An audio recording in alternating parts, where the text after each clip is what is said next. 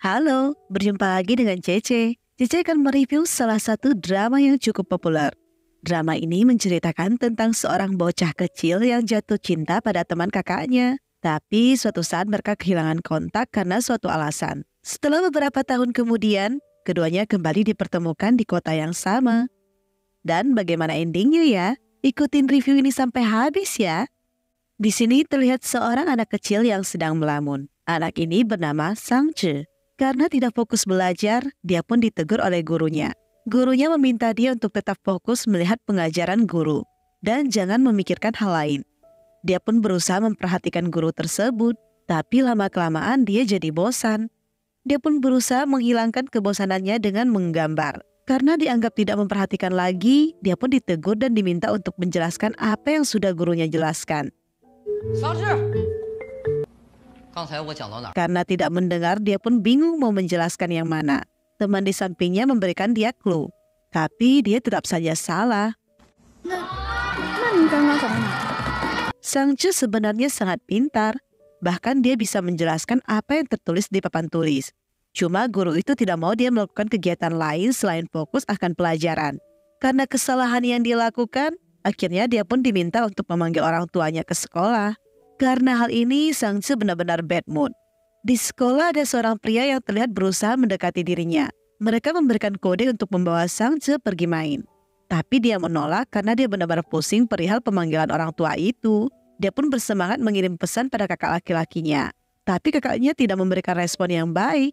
Dia berkali-kali mengirim pesan dengan harapan kakak laki-lakinya ini bisa membantu dirinya. Hasilnya benar-benar nihil. Kakaknya tidak peduli dengan dirinya. Dia pun ngomel-ngomel. Sampai di depan rumah juga dia malah membanding-bandingkan anjing tetangga dengan kakak laki-lakinya. Ketika dia masuk ke rumah dan ingin berbicara dengan ibunya, dia senang ketika dia tahu abangnya rupanya sudah pulang. Dia pun bersemangat naik ke atas. Tapi ketika dia memasuki kamar abangnya, dia tertegun melihat sesosok pria tampan. Dia mengira orang itu adalah abangnya yang telah melakukan operasi plastik.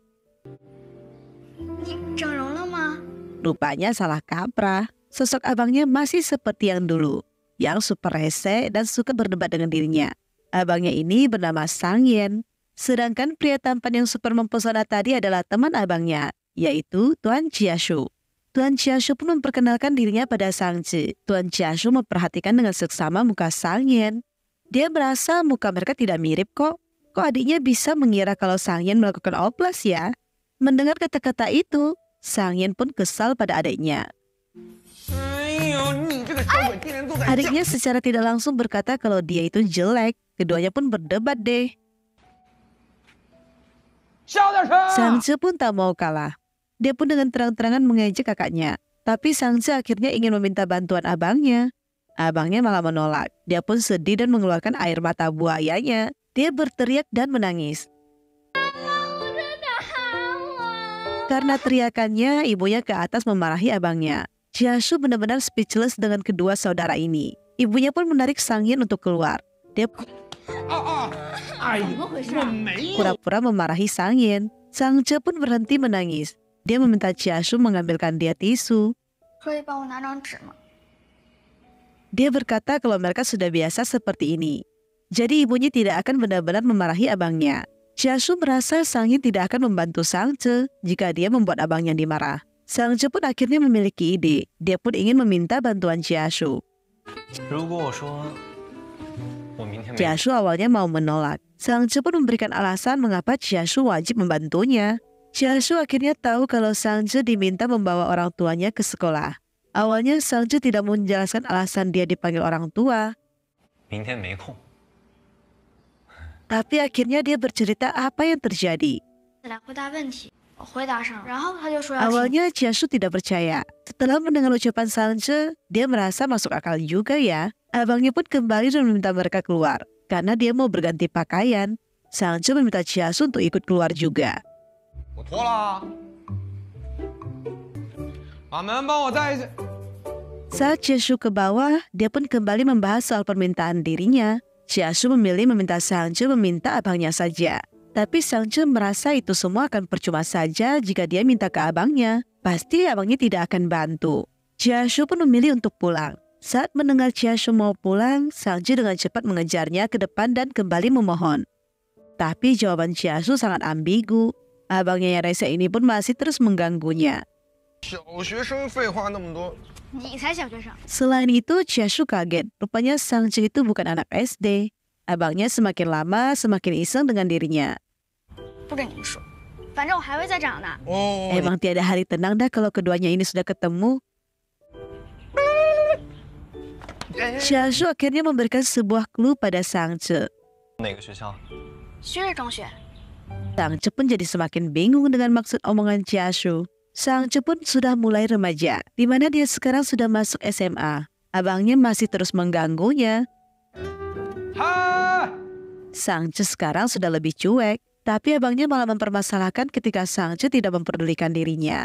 Akhirnya Sang Che pun berusaha terlihat menyambut kehadiran abangnya. Sang Yun berkata kalau dia mau pinjam mobil ayahnya karena dia membantu temannya pindahan. Sang Che pun mulai kepo berat. Kira-kira siapa yang akan abangnya bantu ya? Dia pun menawarkan diri untuk membantu abangnya. Karena dia yakin teman sekamar abangnya ini pasti salah satunya adalah Chiashu. Sang Yin merasa aneh. Kenapa adiknya ini tiba-tiba menawarkan diri? Dia pun menolak, tapi Sang Che tetap memohon. Karena gagal, dia pun meminta bantuan ayah dan ibunya. Ibunya pun meminta Sang Yin membawa Sang Che. Abangnya merasa dia tidak sempat mengawasi adiknya ini. Dia juga takut adiknya nanti terbentur atau apa pun lah. Dialah yang pasti disalahin. Tapi ibunya berkata, ya udah biarkan adikmu mengawasi saja.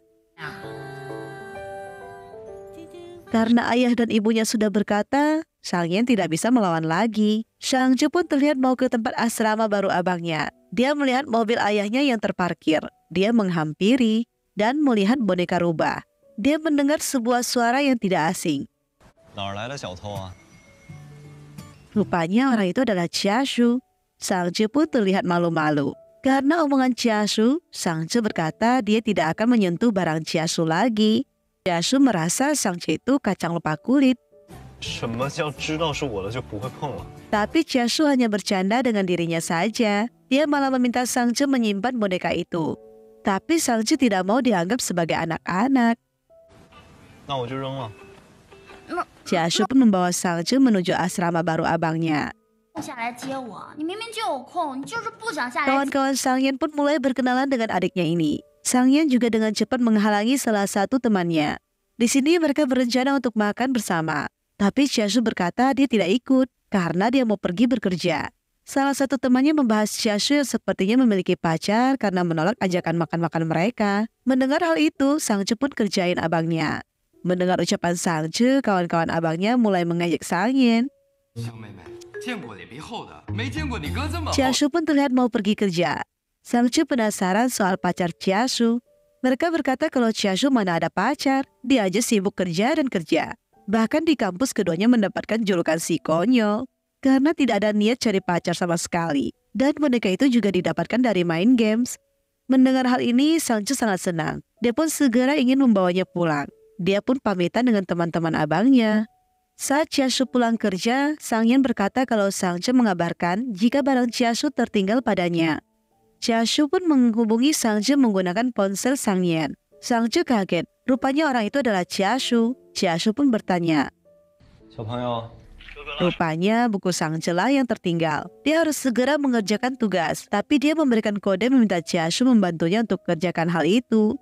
Chiashu merasa harusnya dia meminta abangnya dong. Akhirnya Chiashu memberikan sedikit ceramahan. Chiashu pun berkata kalau dia akan menemui Sang Che esok pagi untuk menemani Sang Che menyelesaikan tugasnya. Sang Che pun setuju. Sang Che senang banget. Dia sangat bersemangat. Dia sampai-sampai menyeting banyak sekali jam alarm. Keesokan paginya, Sang Che turun dari bus. Dia tidak melihat sosok Chiasu sama sekali. Sang Che pun jadi teringat masa lalunya, di mana dia dulu menunggu kedatangan Chiasu. Tapi dia juga tidak yakin Joshua akan datang. Hal ini membuat dia sangat risau. Apalagi gurunya berkata kalau dia akan menunggu orang tuanya di kantor. Sang Chu pun masih terlihat menunggu kedatangan Chiashu. Tapi tunggu punya tunggu, Chiashu tak kunjung datang. Dia pun kesal dan berkata jika Chiashu adalah seorang pembohong. Dia terjatuh dan melihat sebuah bayangan. Rupanya Chiasu tidak berbohong dan menepati janjinya. Tapi Sangje masih agak kesal karena Chiasu datang terlambat. Chiasu tidak tahu jam pulang sekolah Sangje. Dia pun meminta maaf. Sangje membawa Chiasu ke ruangan guru. Karena teringat masa lalu, Sangje mengira kalau Chiasu akan mengingkari janjinya. Dia pun menghubungi Chiasu. Chiasu muncul dan menempelkan botol susu ke pipi Sangje. Mendengar ucapan Sangje tadi, dia pun akan menghabisi Sangje jika ucapannya terjadi. Chiasu pun menemani Sangje mengerjakan tugasnya.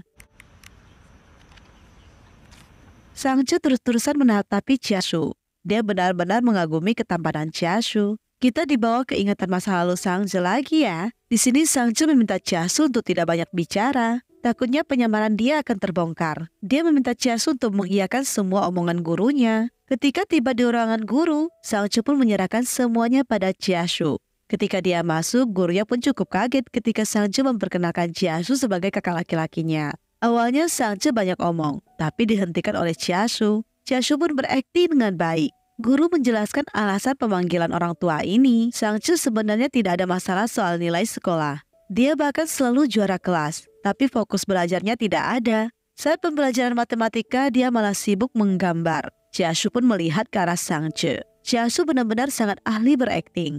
Dia terlihat sangat alami ketika berperan sebagai Sang Yen. Tapi keduanya hampir ketahuan karena gurunya tiba-tiba bertanya pertanyaan yang sudah pasti Chiasu tidak akan tahu jawabannya. Hanya saja mereka berhasil melewatinya. Chiasu pun memuji Guru Chen. Dia meminta Guru Chen untuk terus membimbing Sangje. Bila perlu, pukulan marah saja jika dia tidak mau belajar. Guru pun meminta Chiasu menyampaikan isi omongan ini kepada orang tua mereka. Chiasu pun meminta Sangje untuk minta maaf dan berjanji tidak akan mengulanginya lagi. Chiasu memberikan Sangje makanan manis. Sangje terus memperhatikan Chiasu. Chiasu pun meminta Sangje fokus mengerjakan tugasnya. Chiasu aneh kenapa Sangje tidak meminum susu yang dia berikan ya. Sangje pun dengan cepat mengambil botol susu itu dan menyimpannya. Dia berkata dia harus segera menyelesaikan tugasnya. Tapi Sangje terlihat kepo dengan Chiasu. Dia pun mengajukan beberapa pertanyaan. Dia akhirnya tahu kalau Chiasu bukan asli orang Nanwu. Chiasu makin aneh kok Sangje malah ingin tahu banget tentang dirinya ya. Sangje pun tidak bisa menjawab apa pun. Chiasu mengantar Sangche sampai ke depan gerbang. Dia menyerahkan sebuah kertas. Dia berkata kalau dia membaca karangan Sangche. Makanya untuk meminta maaf, dia memberikan sebuah karangan dari dirinya. Sangche pun malu sekali karena isi karangan dia itu menceritakan tentang kakak laki-lakinya. Chiasu yang membaca karangan Sangche pun sampai tertawa. Rupanya Sangche sudah membuat karangan. Dia tahu Sangche hanya alasan saja berkata belum diselesaikan. Sangche mengintip isi karangan yang diberikan Chiasu. Tapi tiba-tiba temannya menghampiri dia dan muncullah sekumpulan anak laki-laki yang menghalangi jalannya. Orang itu adalah Fu Zeng. Dia adalah orang yang sudah lama menyukai Sangche. Tapi Sangche tidak memperdulikannya sama sekali. Bahkan Sangche sudah hafal apa yang akan diucapkan Fu Zeng sebelum dia mengucapkannya. Hanya saja di sini sahabat Sangche terlihat menyukai Fu Zeng. Saat di kelas sahabat Sangche melihat sebotol susu yang dibawa Sangche. Dia aneh. Bukannya kamu alergi sama susu ya? Sang Cu pun sudah pulang sekolah. Dia awalnya mau menyimpan susu itu di lemari es, tapi dia urungkan. Sang Cu pun membaca isi karangan yang dibuat Chiashu. Chiashu pun menceritakan dalam karangan itu mengenai Sang Cu yang membantu abangnya yang kembali bertemu dirinya dan boneka yang diberikan Chiashu. Di episode terakhir juga Chasu menyelipkan kalau dirinya senang bertemu lagi dengan Sanche. Setelah sekian tahun mereka tidak berjumpa. Hal ini membuat Sanche sangat senang. Dia pun menyimpannya dengan baik hasil karangan Chiasu. Dia juga menyimpan nomor ponsel Chiasu. Chiasu pun mengirim stiker. Hal ini membuat dia semakin kegirangan. Dia pun menggambar rubah dan botol susu. Tapi ibunya masuk. Dia kaget Sangce memiliki sebotol susu. Sangce pun dengan cepat mengambilnya. Dia berkata dia tidak akan meminumnya. Dan dia dengan segera membuang susu itu. Selanjutnya terlihat Sangin pulang. Dia mencari keberadaan Sangce. Sangce sengaja tidak mau menjawabnya. Sangin ingin membawa Sangce pergi makan. Tapi Sangce menolak ajakan kakaknya. Setelah dia mendengar percakapan abangnya, dia pun mulai kepo deh. Siapa ya teman Sangin yang akan ikut? Akhirnya dia pun mau ditinggal pergi sama abangnya. Dia pun mengeluarkan jurus mengadu pada ibunya. Abangnya tidak memperdulikan dirinya. Dia pun harus mengaku salah. Abangnya pun kembali. Dia memberikan waktu untuk adiknya siap-siap. Adiknya malah meminta dia mengambil handphonenya di kastil. Abangnya yang konyol ini malah menuruti permintaan adiknya. Sang Chu pun kecewa. Rupanya orang yang dijemput adalah Chiang Fei. Dia kecewa orang itu bukanlah orang yang dia harapkan. Untungnya kekecewaan dia hanya sebentar karena dia melihat sosok Chiasu yang juga ikut dijemput. Chiasu terlihat begitu lelah. Dia langsung berbaring saat masuk ke mobil. Chiasu melihat Sang Che. Dia protes kenapa Che tidak menyapanya sama sekali. Chiasu pun terlihat memuji dirinya. Chiang Fei merasa gimana gitu mendengar ucapan Chiasu. Mereka pun meminta Che untuk tidak mendengarkan omongan Chiasu karena dia bukan orang baik. Sang Che pun setuju. Chiasu kesel mereka mengadu domba. Sangju terlihat malu-malu karena dia bisa bertemu dengan Chiasu lagi. Mereka pun tiba di tempat makan. Tapi saat Sangju mau turun bersama abangnya, abangnya malah minta dia keluar dulu. Sangju pun memohon-mohon. Abangnya tetap ngotot suruh Sangju turun bersama Chiasu dan lain-lain. Sangju pun kesal banget abangnya ini tidak peka deh. Ketika dia turun, dia pucat dan menahan perutnya. Dia pun mau izin ke toilet. Xiaoshu melihat Sangche datang bulan dan tembus. Dia pun mengikuti Sangche dari belakangnya. Dia meminta Sangche untuk masuk dulu. Dia akan membelikan pembalut untuknya. Sangche masuk dan melihat kalau ada bercak di celananya. Dia pun tidak bisa berkata apa-apa karena dia sangat malu. Xiaoshu pun menghubungi Sang Yen. Dia meminta Sang Yen untuk turun menemani dirinya membeli pembalut. Dia tidak mau malu sendirian. Akhirnya mereka berdua pun harus membeli pembalut.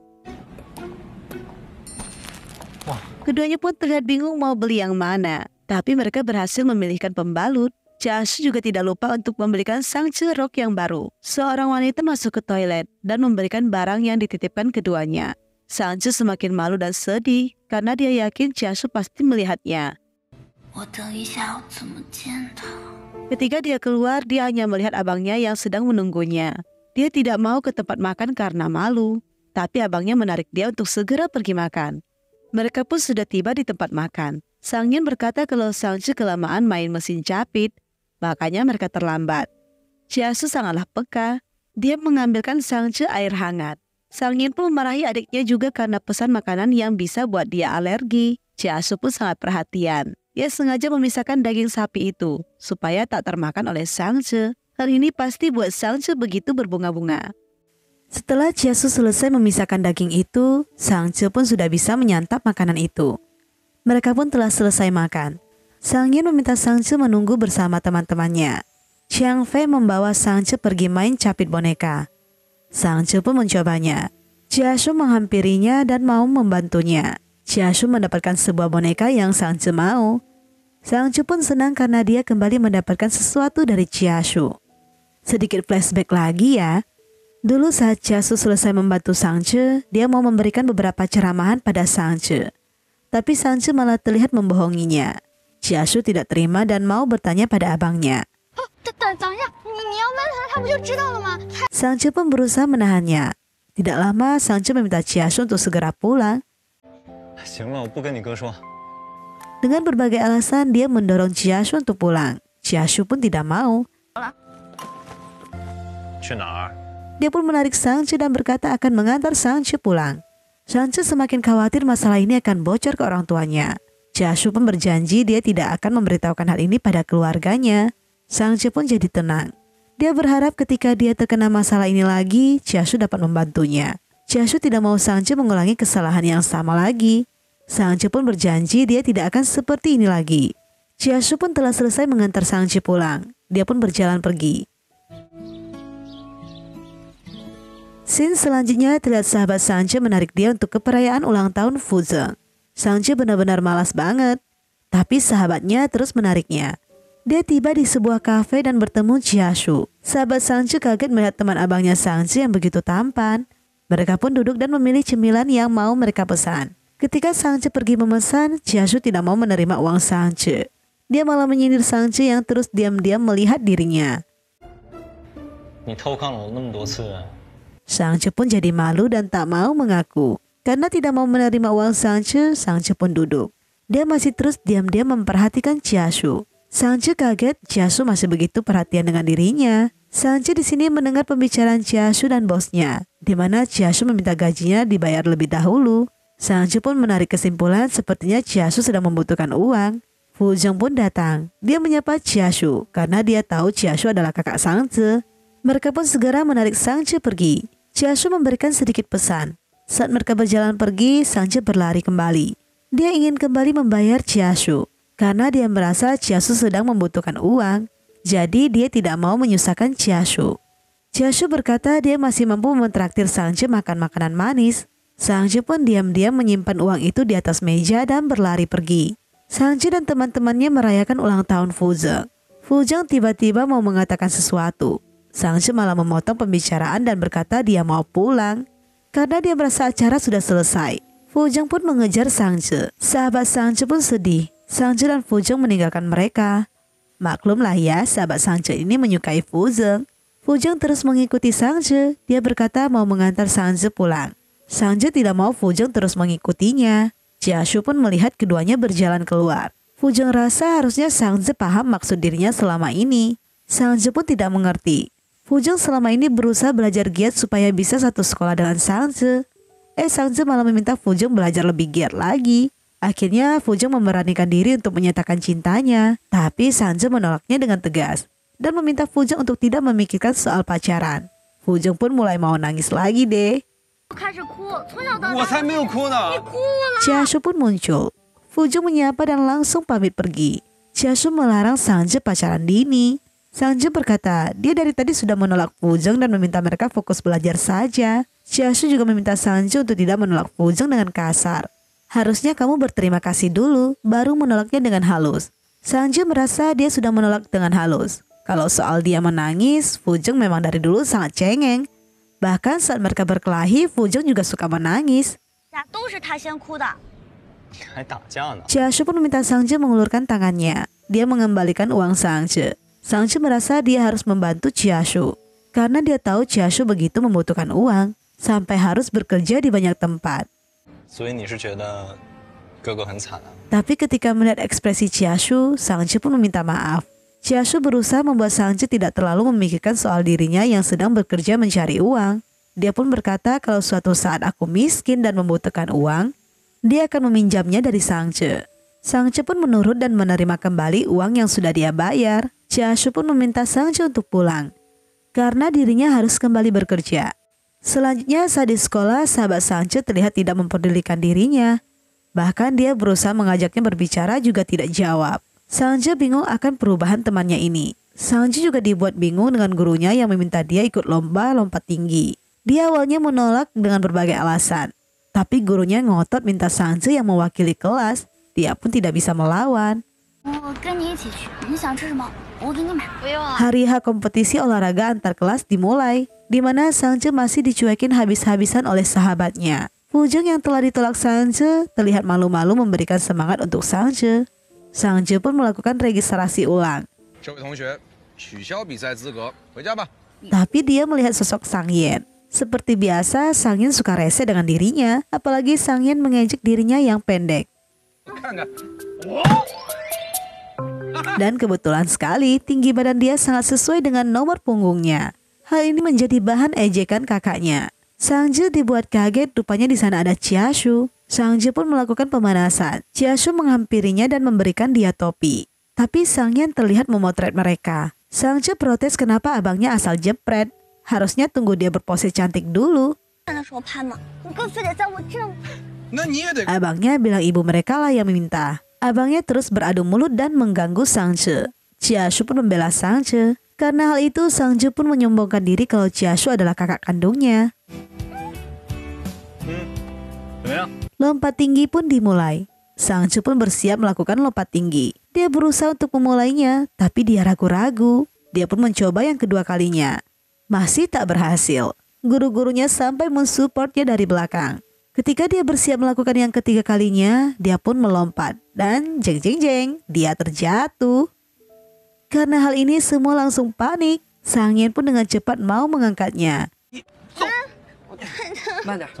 Tapi sepertinya kaki Sang Ce pun terkilir. Sang Yen dengan cepat mau menggendongnya. Tiba-tiba guru menyadari bukankah abangmu yang ini? Sang Ce dengan cepat berkata kalau yang menggendongnya adalah ayah kandungnya. Ciashu pun meluruskan saja ucapan Sangce. Kalau tidak bisa berabe. Sangin aneh dengan ucapan Sangce. Keduanya malah berdebat. Sangce pun menangis. Ciashu pun meminta Sangce dia yang gendong saja. Sangin menyerahkan Sangce pada Ciashu. Ciashu membawanya dan mengobati luka Sangce. Sangce merasa Ciashu lebih cocok jadi abangnya, lebih perhatian. Tidak seperti Sangin yang tukang marah. Tapi Ciashu justru merasa abangnya begitu sayang dan peduli padanya. Diajak khawatir sekali ketika melihat Sangje terjatuh. Jiasu pun memberikan beberapa cara mahan tipis supaya Sangje tidak memandang jelek abangnya. Sang Yen pun datang. Dia memberikan keduanya minuman. Sangje masih ngambek dengan abangnya. Abangnya pun membukakan dia minuman dan meminta dia untuk minum. Sang Yen ingin menggendongnya dan membawa dia ke rumah sakit. Sangje tidak mau naik. Sang Yen berkata abang kandungmu ada kelas. Dan hanya ayah kandungmu saja yang bisa membawamu ke rumah sakit sekarang. Dia juga mengeluh akan mengantar jemput adiknya ini. Tapi Chiashu berkata dia akan antar jemput Sangje jika Sangyen tidak bisa. Akhirnya Sangje pun mau naik dan menurut. Tapi Sangje melihat Chiashu membantu orang lain. Dia pun sedikit sedih. Rupanya Chiashu baik ke semuanya. Dan dia bukanlah orang yang istimewa bagi Chiashu. Selanjutnya, Sangin berkata jika Chiasu akan sedikit telat, jadi dia meminta Sangje untuk tunggu sejenak. Sahabat Sangje pun menghampirinya. Tiba-tiba dia meminta Sangje menemaninya membeli barang. Di sini terlihat Chiasu pergi menjemput Sangje. Tapi Sapan berkata kalau semua murid sudah pulang dan tidak ada yang tertinggal lagi. Sangje dan sahabatnya pergi ke sebuah tempat. Tapi Sangje makin aneh, ke mana sahabatnya ini ingin membawanya. Dia pun bertanya soal uang yang dibawa Sangje. Rupanya dia berkata dia mau ke sebuah warnet. Sanjo meminta sahabatnya untuk tidak ke sana karena guru berkata itu tempat yang buruk. Dia meminta sahabatnya untuk ke tempat lain saja. Sahabatnya tetap ngotot mau ke sana. Rupanya dia pergi menemui sekumpulan siswa yang suka malak duit orang. Dan Sangje pun ikut terlibat dengan orang-orang ini. Sahabatnya berkata kalau Sangje ada bawa uang. Mereka pun merebut dompet dan memeriksa tas Sangje. Mereka merebut uang Sangje. Mereka pun mengancam dan meminta keduanya untuk datang lagi besok dengan membawa uang yang banyak. Sang Sangju juga jadi terseret. Sang Sangju tidak banyak omong, dia hanya bertanya, Kau mengenal mereka. Setelah itu dia mengambil barang-barangnya dan mau pergi. Sahabatnya meminta maaf dan meminta Sang Sangju untuk menuruti permintaan mereka besok. Sang Sangju kesal. Dia merasa beberapa hari ini dia diabaikan. Tapi tiba-tiba sahabatnya mau berbicara dengannya dan dia jadi terseret masalah mereka dan meminta sahabatnya menceritakan hal ini pada orang tuanya. Jangan mengikuti omongan pemalak itu, mereka hanya akan mengancammu. Sangje pun jalan pergi dengan kakinya yang pincang. Jiasu pun masih sibuk mencari keberadaan Sangje. Dia mendapatkan info di mana Sangje pergi. Dia dengan cepat berlari dan dia pun bertemu. Dia khawatir Sangje pergi tanpa memberikan kabar padanya. Tapi dia melihat Sangje mau menangis. Sangje pun hanya diam dan menangis. Jiasu pun dengan cepat memeluknya. Jiasu membawanya ke sebuah toko kecil untuk menenangkan dirinya. Jiasu melihat ada bekas luka di jari Sangje. Dia pun bertanya. Sangje menceritakan apa yang dia alami barusan. Jiasu kaget dan kesal dia tidak tiba tepat waktu. Dan kenapa Sangje tidak memberitahukan dirinya. Sangje berkata dia tidak mau mempersulit Jiasu. Karena abangnya sudah berpesan untuk tidak menyulitkan Jiasu. Karena Jiasu sangatlah sibuk. Dia semakin kesal ketika dia tahu teman Sangce lah yang membawanya ke sana. Sangce berusaha menjelaskan apa yang terjadi pada sahabatnya juga. Tapi bagi Chiashu itu tidak tepat. Harusnya dia melaporkan hal ini pada guru atau orang tuanya. Bukannya menyeret Sangce ke sana. Chiashu meminta Sangce jika terkena masalah ini lagi harus melaporkan ini pada orang tuanya. Karena apa pun yang terjadi orang tua akan melindungimu sekuat tenaga mereka. Chiashu terlihat benar-benar kesal. Dia melihat kaki Sangce yang masih terluka dan tidak mungkin naik bus. Dia pun menyewa sebuah sepeda. Dia membawa Sang Ju pulang. Sang Ju pun sudah bisa tersenyum lagi karena Chiasu membawa dia melewati pemandangan yang indah. Sang Ju bertanya soal Chiasu kelak. Dia mau tahu apakah ke depannya Chiasu akan kembali bekerja di Yihe. Chiasu belum memikirkannya. Dia juga merasa Nanwe itu sangat menyenangkan. Mendengar jawaban Jiashu, Sangji makin senang deh.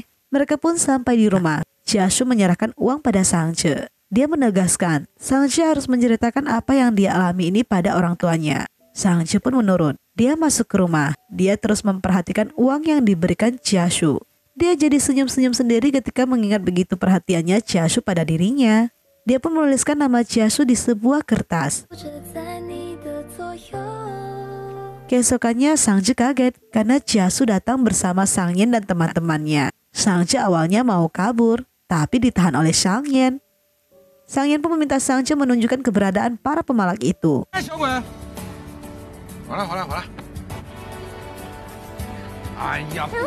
Mereka sampai di tempatnya, tapi mereka kaget rupanya orang yang memalaki Sangje adalah seorang wanita. Tapi mereka tidak mau mundur karena mereka tukang palak, jadi harus diberantas. Sangin dan Chiasu menghampiri mereka. Mereka awalnya melawan. Sangin merebut rokok mereka dan menginjaknya. Sangin benar-benar buat perhitungan sama mereka yang telah mengganggu adiknya. Mereka juga berhasil merebut kembali dompet Sangche. Mereka masih ngotot tidak merasa bersalah. Akhirnya, Chiasu pun memberikan peringatan keras pada mereka. Mereka pun menyadari kesalahan mereka. Sangye dan Chiasu kembali. Mereka memperlihatkan keberhasilan mereka pada Sangche. Sangche tentu saja senang, tapi dia memarahi kakaknya yang memakan permen dia. Dia menariknya dan berjalan pergi. Mereka merasa Sangche lebih cocok jadi adiknya Chiasu ketimbang jadi adiknya Sangyen. Keesokannya, sahabat Sangche memutuskan untuk pindah sekolah. Dia pun meletakkan sebuah kertas di meja Sangche. Dia sangat sedih harus berpisah seperti ini dengan sahabatnya sejak kecil. Sang Chu juga sedih, tapi dia berusaha pura-pura tidak peduli. Dia membuka isi pesan sahabatnya, yang ternyata meminta maaf pada dirinya. Selanjutnya di rumah Sang Chu sedang santai. Orang tuanya datang menghampirinya dan memperlihatkan nilai ujiannya. Ayahnya mempermasalahkan nilai fisikanya yang kecil. Sang Chu tidak peduli dengan nilai fisikanya. Yang penting nilai dia lulus. Dia begitu tidak menyukai pelajaran fisika. Ayahnya pun meminta Sangje untuk ikut kursus. Dia akan mencarikan Sangje guru privat. Dan ternyata guru dia adalah Sangyen. Sangyen rupanya sangat pintar IPA. Makanya ayah dia mempercayakan dia untuk mengajarkan adiknya. Tapi yang terjadi malah keduanya tidak bisa menjadi guru dan murid yang baik. Yang ada makin rusuh. Di mana Sangje tidak paham-paham ketika abangnya memberikan pelajaran. Sangyen pun sudah tidak bisa sabar. Dia pun memukul adiknya. Keduanya saling adu pukul. Sang Chu pun menangis. Akhirnya orang tua mereka menjadi penengah. Sang Chu meminta cari guru lain saja. Ayah dan ibunya pun setuju, tapi Sang Chu mau pas les di ruangan abangnya saja. Abangnya menolak, tapi Sang Chu tetap ngotot mau di kamar abangnya. Karena ayah dan ibunya juga setuju dengan ide Sang Chu, abangnya pun kalah suara deh. Saat malam hari ibunya menghampiri Sangce.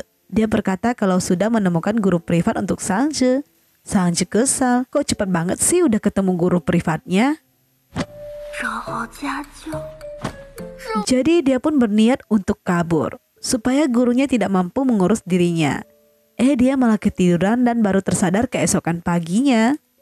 Dia pun melihat jam tangannya. Dia pun keluar kamar. Dia memanggil kakaknya. Dia membuat request makanan yang dia mau makan. Dia juga mengkritik soal guru privatnya yang tidak profesional. Dia pun meminta abangnya untuk berbicara pada orang tuanya, supaya dia tidak perlu privat. Dia melakukan privat setelah tahun baru saja. Jika abangnya membantunya berbicara, dia akan memberikan angpau untuk abangnya. Tapi dia kaget ketika melihat abangnya turun dari atas. Terus yang sibuk di dapur itu adalah Chiashu. Dia kaget banget. Rupanya Chiasu adalah orang yang akan menjadi guru privatnya. Dia dari tadi sudah menunggu Sang Tzu untuk bangun. Chiasu pun ternyata membuatkan makanan sesuai request Sang Tzu.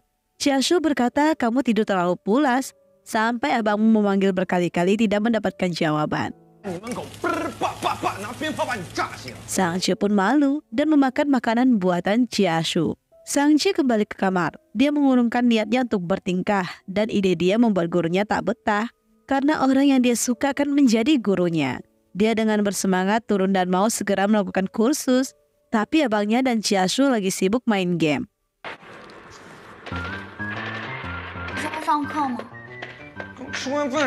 Chiasu pun berbicara sedikit.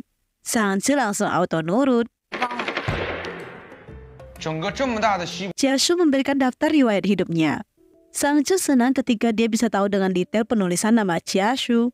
Dia juga terlihat diam-diam mau memotret Chiasu. Cuma terus-terusan terhalang oleh Sang Yen. 唉，Gak lama dia berhasil memotretnya. Sayangnya Chiasu menyadari kalau Sangce mau memotretnya. Sangce pun dengan cepat mencari alibi. Sang Yen pun bertanya. Sangce bingung mau jawab apa. Akhirnya Sang Yen mengira kalau Sangce mau melapor mereka pada ibunya. Sangce pun berbohong. Dia berkata kalau teman dia meminta foto abangnya.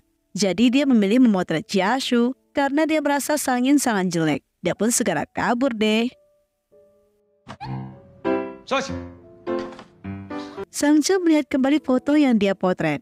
Dia senyum-senyum sendiri. Jiashu pun masuk ke ruangan. Dia bertanya, apakah kau masih memotretku? Kan kamu mau kirim foto abangmu yang tampan. Sangce pun segera mengalihkan pembicaraan. Mereka pun memulai pembelajaran mereka. Sangce terlihat sekali tidak menyukai fisika. Jasu padahal dari dulu sudah meminta Sangce fokus dan menyimak saat guru menjelaskan. Masa aku harus mengingatkanmu setiap hari? Mendengar jawaban Sangce, Jasu benar-benar speechless. Jasu pun mengajarkan Sangce dengan pelan-pelan. Dia memberikan beberapa pengertian dengan memberikan contoh yang mudah dipahami. Sangce pun cukup menikmati dan senang dengan kursus ini, sampai-sampai dia mau melakukan les setiap hari. Jasu merasa dia sudah memberikan semua waktunya untuk Sangce. Sangce kepo, mengapa Jasu memilih kuliah di Nanwu? Jasu merasa dia bercita-cita mau bekerja di dunia game dan Nanwu terkenal dengan bidang itu. Makanya dia memilih untuk kuliah di Nanwu. Sang pun sudah tahu alasan Chia Shu memilih stay di Nanwu. Keesokannya, Sang Chu begitu bersemangat untuk melanjutkan pembelajaran. Dia sudah bersiap-siap menunggu kedatangan Chia Shu. Chia Shu pun datang, tapi Sang Chu sadar kalau Chia Shu terlihat kelelahan. Dia pun memberikan ide. Dia akan mengerjakan tugas. Dia meminta Chia Shu untuk istirahat sejenak. Jiasu mengira Sangce sengaja malas-malasan dan mau mengganti dia dari gurunya. Sangce berkata tidak. Jiasu pun menyetujui ide Sangce. Dia tidur sejenak. Sangce menyelimuti Jiasu.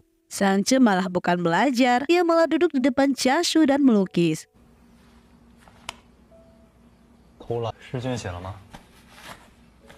Jiasu melihat hasil kerjaan Sangce. Dia merasa dia gagal menjadi guru. Tapi Sang Sangce merasa Chia Su sudah mengajar dengan baik. Memang dia nyala yang tidak paham dan tidak tertarik sama sekali dengan fisika. Chia Su pun memikirkan sebuah ide. Dia meminta izin pada Sang Yin untuk membawa Sang Sangce ke Museum Sains. Dia mau Sang Yin meminta izin pada orang tua mereka. Sang Yin sudah mewakili. Dia menyetujui ide Chia Su. Mereka pun OTW ke tempat Museum Sains itu. Sang Yin tidak mau ikut mereka masuk. Dia pun membiarkan keduanya masuk dan menikmati pembelajaran mereka. Chiasu meminta Sangce menikmati semua yang ada di sini. Karena semua permainan ada hubungannya sama Sains. Dia juga sambil menjelaskan teori-teorinya. Sangce pun menikmati seluncuran itu. Chiasu juga menjelaskan efek tsunami yang ada di ruangan itu. Sangce terlihat menikmati semua suasana ini sambil dia belajar. Sangce dibuat kaget dengan sebuah pot yang bisa menghasilkan bentuk bayangan. Chiasu pun menjelaskan kembali teori itu. Sangce sekarang sudah semakin paham dan mengerti teori-teori yang ada di fisika. Dia juga kepo soal cita-cita Chiasu. Dia merasa Chiasu suka main game. Bermain game adalah bagian dari pemberontakan dini. Tapi Chiasu menjabarkan pandangan yang berbeda, di mana dia begitu menyukai dunia game dan dia akan menekuni bidang itu. Dia merasa rileks dan happy ketika dia bermain game. Meskipun hanya sebentar, maka dari itu dia memiliki mimpi untuk menciptakan gamenya sendiri.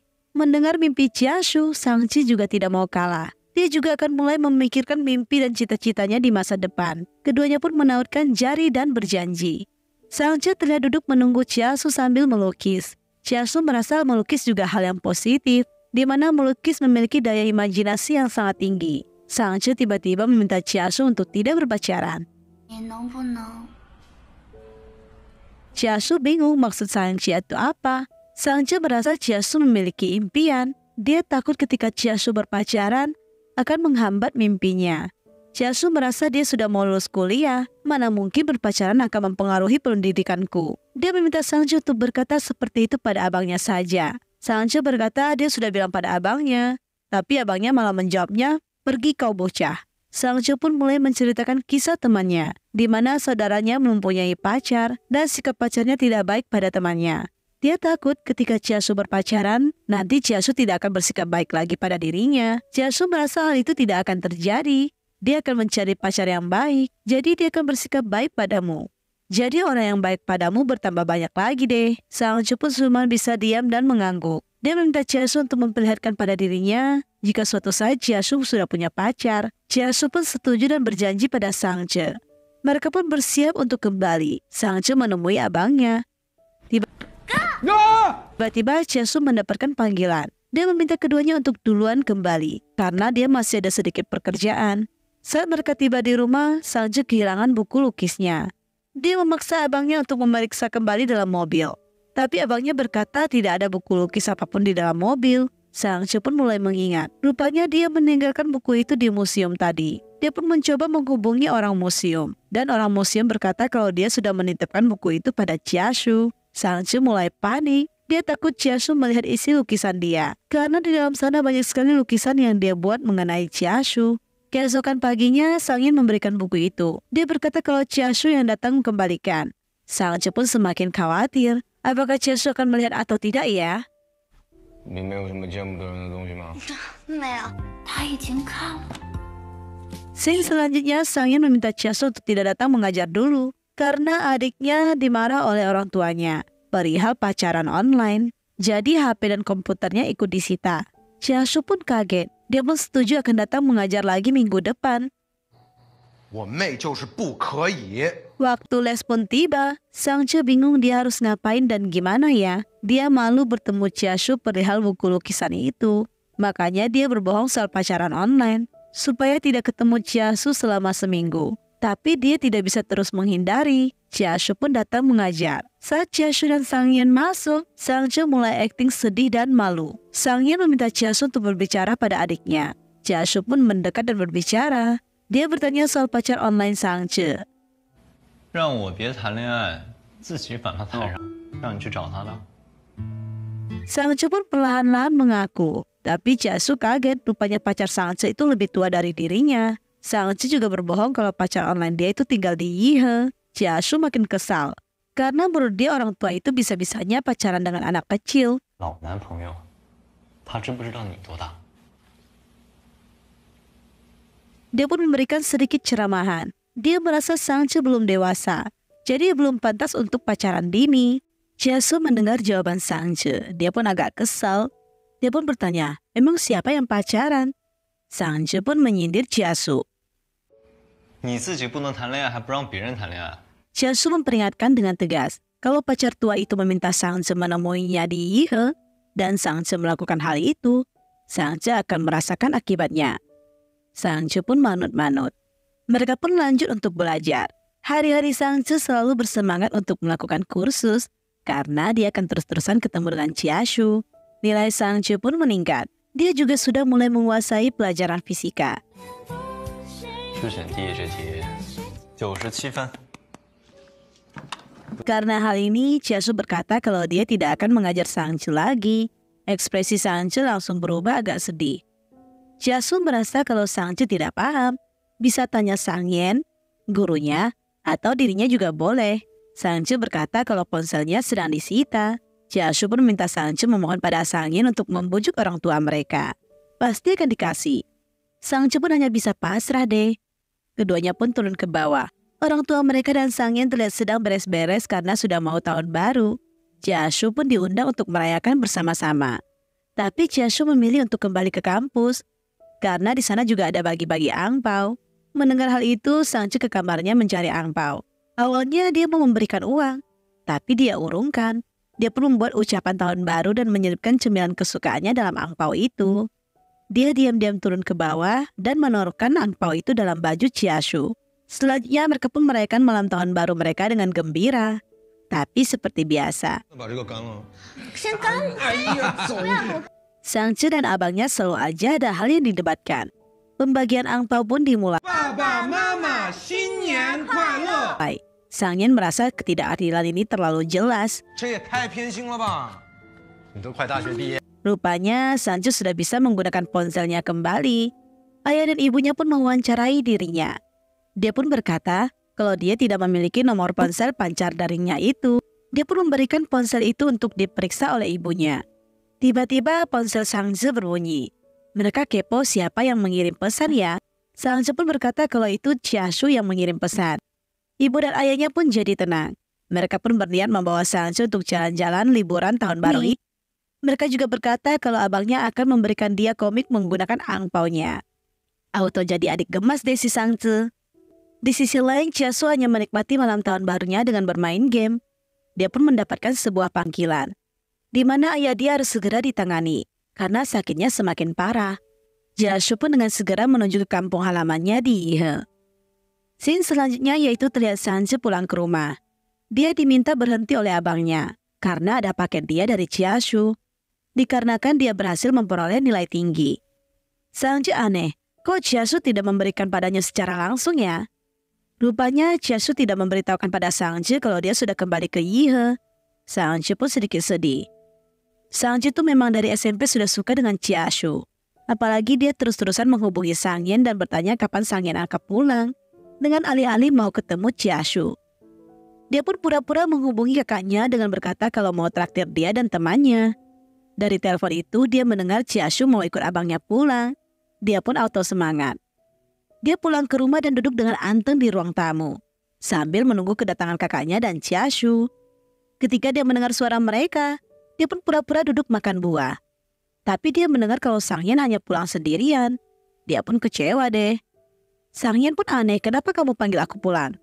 Mendengar jawaban Sang Hyun, Sang Hyun pun kesal banget. Ah. Orang tua mereka pun pulang. Sang Yan meminta abangnya untuk kerjasama. Abangnya pun hanya bisa pasrah dengan kebohongan yang diciptakan adanya ini. 周末了，一起吃个。 Udahlah kena bohong, masih sempat pula si Sangce sengaja isengkan abangnya. 给我煮饭吧。他煮饭， Karena terlalu kepo, Sangce memberanikan diri bertanya soal Chiasu. Abangnya pun masih menjawab dengan sangat rese. 忙着躲开你这种小鬼。 Tapi Sangce akhirnya tahu kalau kawan-kawan abangnya masih pada jomblo. Abangnya pun sosokan meninggikan diri. Mendengar ucapan abangnya Sangce, dia pun jadi mau muntah. 牛，吃的那么清新脱俗的呢。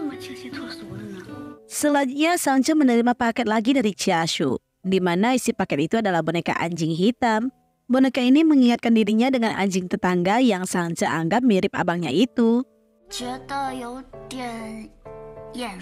Sangje pun menghubungi Chia Shu. Dia meminta alamat Chia Shu karena dia mau kirim hadiah juga. Chia Shu merasa tidak perlu karena dia sudah senang mendengar niat baik Sangje. Sangje pun bertanya apakah kamu akan kembali saat kamu wisuda. Chiasu membenarkan hal itu. Keduanya pun berjanji akan bertemu saat mereka acara wisuda. Sangje pun akan memberikan hadiah ini pada Chiasu sebagai hadiah wisuda. Di sini terlihat seorang mengetuk rumah Chiasu. Ada seorang wanita yang tiba-tiba datang yaitu Chiang Yi. Dia ingin masuk ke rumah Chiasu, tapi Chiasu menolak. Dia pun ingin memberikan Chiasu uang. Chiasu juga menolak.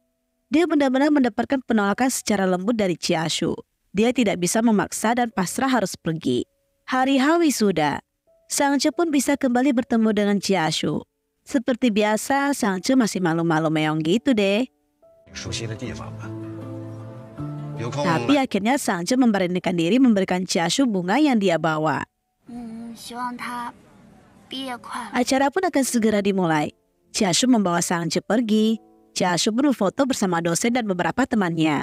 Dia pun mengucapkan perpisahan dengan beberapa teman sekelasnya.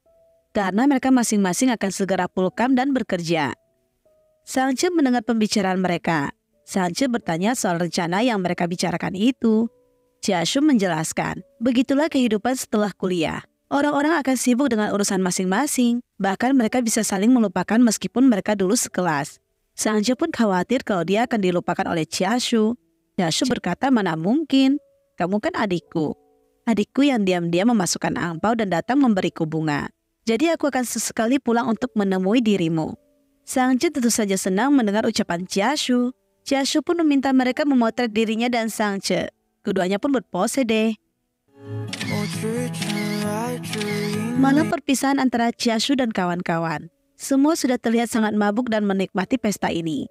Chiashu memang tidak pandai minum. Hanya dia yang terlihat masih sangat sadar. Sebenarnya Chiashu tidak mau pulang ke Yihe, tapi dia tidak bisa menghindar. Apalagi Chiang Yin terlihat terus-menerus menghantui kehidupannya. Banyak yang Chiashu khawatirkan. Dia benar-benar tidak menikmati pesta malam ini. Chiashu pun membawa Sang Yen pulang. Sang Yen benar-benar sudah mabuk parah. Orang tua Sang Che meminta Chiashu untuk menginap. Ibunya meminta Sang Che menyiapkan handuk dan sikat gigi untuk Chiashu. Sang pun masih sempat iseng sama abangnya. Setelah itu dia naik dan mengambilkan Chiashu keperluan untuk menginap. Sang pun malu-malu ketika ingin memberikan dalaman untuk Chiashu. Dia pun berlari pergi. Chiasu duduk dan berpikir. Dia memikirkan saran dokter. Hal inilah yang membuat dirinya harus kembali bekerja di kampung halamannya yaitu di Yihe. Dia juga terus-terusan diganggu oleh Jiang Yi. Sang Che melihat Chiasu belum tidur. Dia pun menghampiri Chiasu. Dia aneh Chiasu belum tidur. Dia sampai mau mengusir abangnya dari sofa supaya Chiasu bisa tidur di sana. Karena Sang Che melihat Chiasu suka berbaring di sofa itu, Chiasu merasa hal itu tidak perlu. Sebentar lagi aku akan tidur kok. Sebaiknya kamu pergi tidur. Karena sudah larut, Sang Chen menyadari ada yang tidak beres dengan Chiasu. Dia pun bertanya, tapi Chiasu tidak mau jujur. Sang Chen pun siap untuk menjadi pendengar, supaya beban di hati Chiasu berkurang. Tetapi Sang Chen tidak memaksa, kalau tidak mau cerita juga tidak apa. Tidak lama Chiasu menceritakan sebuah rahasia, di mana dia memiliki banyak kreditur. Sang Chen pun kepo berat. Dia pun berjanji suatu saat jika dia sudah dewasa, dia akan membantu Chiasu melunasi hutang-hutangnya. Chiasu kaget dengan kata-kata Sang Che. Dia merasa itu sebenarnya bukan hutang dirinya, tapi dia terharu dengan niat Sang Che. Dia meminta jika suatu saat kamu sudah menghasilkan uang, balikanlah dirimu gaun-gaun yang indah. Sang Che pun kembali ke kamarnya. Dia tidak bisa tidur. Dia akhirnya membuat catatan lagi. Ketika dia besar nanti, dia akan membantu bayar hutang Chiasu. Chiasu pun bersiap untuk pergi. Dia pergi di saat semua sedang tidur. Sang Che melihat Chasu berjalan pergi. Chasu menyadari kalau Sang Che melihat dirinya. Dia pun mengirim pesan pada Sang Che. Dia pergi tanpa pamit karena harus segera mengejar pesawat pagi. Sang Che meminta Chasu untuk menepati janjinya. Selanjutnya saat di sekolah, Sang Che memiliki target baru. Dia ingin menaikkan peringkatnya. Dia mau berkuliah di Universitas Yihe untuk mengejar Chiashu. Dia pun menulis impiannya di kertas notnya. Dia pun sering berbagi pesan dengan Chiashu. Dia mencatat targetnya. Dia juga semakin giat belajar. Langkah demi langkah dia capai. Supaya dia bisa semakin dekat dengan impiannya untuk bertemu Chiashu. Saat dia bermain dengan boneka pemberian Chiashu, dia mendengar percakapan Sang Yen yang membicarakan jika Chiashu sudah mempunyai pacar. Hal ini membuat Sang sangat terkejut. Dia pun bertanya pada abangnya. Mendengar hal ini, dia pun sedih. Dia merasa Chiashu mengingkari janji mereka. Dia awalnya mau kirim pesan dan bertanya, tapi dia urungkan karena dia benar-benar kecewa. Dia ingin bertanya secara langsung. Akhirnya dia pergi ke Yia sendirian. Sang Yen pun mencarinya. Karena Sang Che tidak pergi ke tempat kursusnya, Sang Che berkata kalau dia pergi ke Yihe. Sang Yen pun tahu kalau Sang Che pergi menemui pacar daringnya.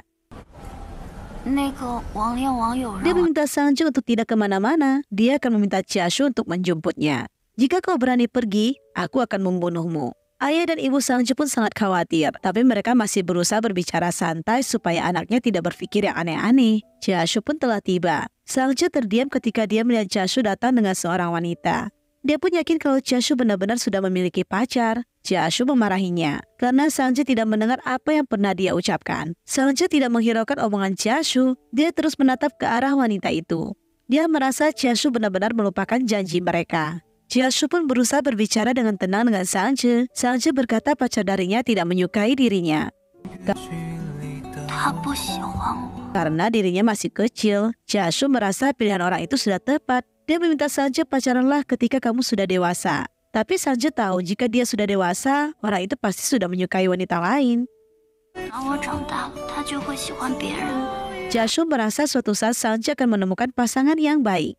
Sangje benar-benar sedih dan menangis. Jasu meminta Sangce mencuci mukanya. Dia akan membawa Sangce pergi makan. Sangce tidak mau makan, dia hanya mau segera pulang. Wanita yang bersama Jasu memberikan tisu dan mau membawa dia makan. Tapi Sangce dengan tegas menolak dan berkata dia bisa pergi sendiri dan tak mau merepotkan orang lain. Akhirnya mereka pun menuruti Sangce. Jashu meminta Sanje pergi ke toilet untuk cuci muka. Sanje pun benar-benar patah hati. Dia menangis sampai terseduh-seduh. Dia yakin wanita itu adalah pacar Jashu. Sanje pun tak kuat lagi menahan sakit hati ini. Dia pun menangis sepuasnya. Setelah selesai dia keluar menghampiri Jashu, dia bertanya keberadaan kakak tadi. Tapi kakak tadi sudah pergi karena ada kerjaan. Jashu merasa Sangche agak cuek pada dirinya. Padahal mereka tidak bertemu beberapa bulan saja. Sikap Sangche sudah berubah dan tidak mau berbicara kepadanya seperti biasa. Jashu pun memberikan Sangche makanan. Sangche pun menyerahkan hadiah yang selama ini tertunda yang dia ingin berikan. Jashu pergi mengangkat telepon. Sangju diam-diam memasukkan uang tiket ke dalam dompet Jashu. Sangju pun bersiap untuk naik pesawat. Sebelum naik, Jashu masih sempat memberikan beberapa ceramahan tipis. Sangji juga mengembalikan boneka yang pernah dikasih Chiasu dari mesin jahit. Chiasu pun menerimanya. Chiasu masih tersenyum dan berusaha menghibur Sangji. Sangji sudah tiba di Nanu. Dia terlihat lemah lesu. Semua campur aduk. Sang Yen pun sudah menunggunya. Tapi tiba-tiba Sang menangis. Dia pun memeluk Sang Yen. Sang Yan bingung harus gimana menghibur adik tercintanya ini. Dia sampai mau memberikan semua yang disukai Sang Je. Tapi Sang Je menangis semakin kencang. Dia hanya bisa memeluk dan menenangkan adiknya. Ketika sampai di rumah, orang-orang rumah berusaha bersikap tidak terjadi apa pun. Sang Je pun naik ke atas dan masuk ke kamarnya. Ketika Sang Je masuk kamar, Sang Yan membahas kalau dia sudah memarahi adiknya sepanjang jalan. Menurut info Chiashu, Sang Je mengalami cinta tak terbalas. Dia juga sudah menangis seharian. Jadi dia meminta ayah dan ibunya untuk tidak memarahi dirinya. Mereka pun setuju untuk tidak membahasnya lagi. Dan anggap saja dia pulang sekolah seperti biasa. Di sisi lain, Sanje yang benar-benar patah hati mengumpulkan semua hadiah dan kenangan yang berhubungan dengan Chiashu. Dia menyimpannya. Dia merobek juga hal yang dia kejar. Dia membuka kertas notnya dan mencoret isi dari not yang sudah dia tulis itu. Dia pun kembali menangis lagi. Dua tahun pun berlalu. Sangje masih mengejar mimpinya untuk berkuliah di Universitas Yale. Dan dia pun berhasil. Dia sekarang sudah menjalani hidup yang bahagia. Dia memiliki teman sekamar yang super gemoy dan loyal. Salah satunya si cantik Ning Wei dan si tomboy Yushin. Dan selanjutnya si pemalu Wang Roland. Mereka benar-benar sekumpulan sahabat yang cocok meo banget deh. Di sini juga diperkenalkan salah satu pria yang bernama Jiang Ming. Jiang Ming ini tertarik dengan Sang Che. Ning Wei yang super friendly ini mengajak Jiang Ming dan teman-temannya untuk hadir di pesta ulang tahunnya. Scene selanjutnya mereka pun ke tempat janjian, di mana Ning Wei akan merayakan ultahnya. Jiang Ming dan kawan-kawan pun sudah muncul. Mereka menuju ke ruangan karaoke. Kebetulan Jiasu juga berada di sana, tapi mereka saling tidak melihat satu sama lain. Sang Ji dan teman-temannya bersenang-senang dan bernyanyi bersama. Sedangkan di sisi lain Jiasu datang bersama rekan-rekan kerjanya. Dia diperkenalkan dengan seorang wanita yang mau dijodohkan gitu deh dengan dirinya. Tapi Jiasu bersikap biasa saja dan tidak menunjukkan ketertarikannya. Jiang Ming mulai mendekati Sang Je. Sang Je menjawab seadanya saja karena dia fokus menikmati ultah temannya. Tidak lama, Sang Ji izin keluar sebentar untuk menghirup udara segar. Tapi saat dia keluar, dia menjatuhkan rokok dan kebetulan dia bertemu dengan Jiashu. Jiashu pun melihat rokok itu. Sang Ji menjelaskan kalau itu bukan punya dia. Jiashu tidak percaya. Apalagi di tubuh Sang Ji bahwa alkohol. Jiashu bertanya, kenapa kamu tidak menyapaku? Terus selama ini kamu tidak pernah mencariku. Sangju pun beralasan kalau dia sibuk kuliah. Tapi dia mengubah lagi jawabannya kalau dia sibuk kerja paruh waktu. Mendengar jawaban Sangju, Jashu pun mengungkit masa lalu mereka. Dia merasa Sangju itu lupa budi. Jashu pun aneh. Apakah aku pernah bersikap buruk kepadamu sehingga kamu seperti ini padaku? Sangju pun berusaha menjelaskan. Sangju merasa Jasu selalu menganggapnya masih kecil. Sangju pun protes karena Jasu terus memanggilnya anak kecil. Mau sedewasa apa pun, Jasu masih menganggap Sangju sebagai anak kecil. Sangju pun malas berdebat. Dia pun meluruskan saja omongan Jasu dan membalasnya dengan sarkas. Dia juga mempermasalahkan soal Sangju yang tidak pernah membalas pesannya. Sangju beralasan lagi deh kalau dia sibuk kuliah. Jasu merasa Sangji tidak perlu mengisolasikan diri seperti itu. Jasu pun menawarkan diri untuk antar Sangju pulang. Sangju menolaknya dan ingin pulang bersama teman-temannya saja. Dia pun pamit pergi. Ketika Sangju balik ke ruangan, mereka pun kembali pesta dan melakukan tiup lilin. Sangju merasa sudah malam. Dia takut ibunya menelpon. Dia pun harus pulang duluan deh. Ketika dia jalan keluar, dia memikirkan omongan Jiashu. Dia kesal dan bergumam. Hal ini terdengar oleh Jiashu. Rupanya Jiashu menunggu dia di depan. Karena melihat Sangje tidak bersama temannya, dia pun meminta Sangje ikut dengannya. Dalam perjalanan, keduanya terlihat sangat canggung. Sanjo pun kedinginan. Jiasu yang peka mematikan AC-nya. Sanjo berusaha membuat suasana jadi biasa saja. Dia pun mencoba membahas beberapa topik. Jiasu penasaran, berapa banyak yang kamu minum? Dan sama siapa saja? Dia pun memberikan nasihat. Jiasu masih memanggil Sanjo sebagai anak kecil. Sangji tidak suka karena dia merasa kini dia sudah dewasa. Dia pun protes. Jasu merasa kalau kau kelak sudah menikah, orang tuamu juga tetap akan menganggap dirimu sebagai anak kecil kok. Jasu pun berjanji tidak akan memanggil Sangji sebagai anak kecil lagi. Sangji bertanya soal kerjaan Jasu. Jasu menjelaskan kerjaannya. Tidak lama Jasu teringat soal masa lalu Sangji yang mengejar pacar darinya di Ihe. Apakah kamu kuliah di sini karena dirinya? Sangju menjawab bukan. Dia merasa Universitas Ihe itu bagus dan kebetulan nilai dia juga cukup.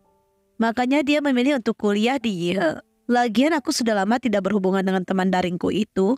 Jiasu awalnya mengira Sangin marah sama Sangju karena pilih kuliah di Ihe karena pria itu. Sangju pun menjelaskan kalau abangnya marah itu gara-gara dia tidak memberitahukan kalau Sangju mau kuliah di Ihe. Sedangkan ayah dan ibunya tahu. Ayah dan ibunya juga mendukung. Intinya Sangju lupa kasih tahu abangnya gitu deh. Karena kesal, abangnya pun selalu mengajak dia bertengkar. Jadi dia pun ladenin deh. Jiasu pun antar Sangju sampai ke depan asrama.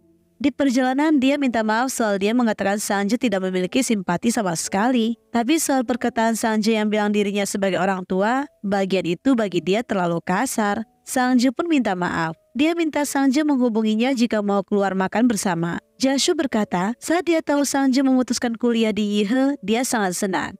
Karena selama ini dia selalu merasa sendiri.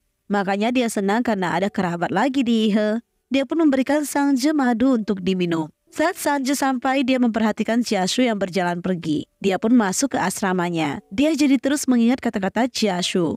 Dia aneh kenapa Jiashu bisa merasa sendirian ya. Padahal kan dia asli orang Yihe. Dan pacarnya juga di mana sih? Dia membaca pesan dari Jiashu.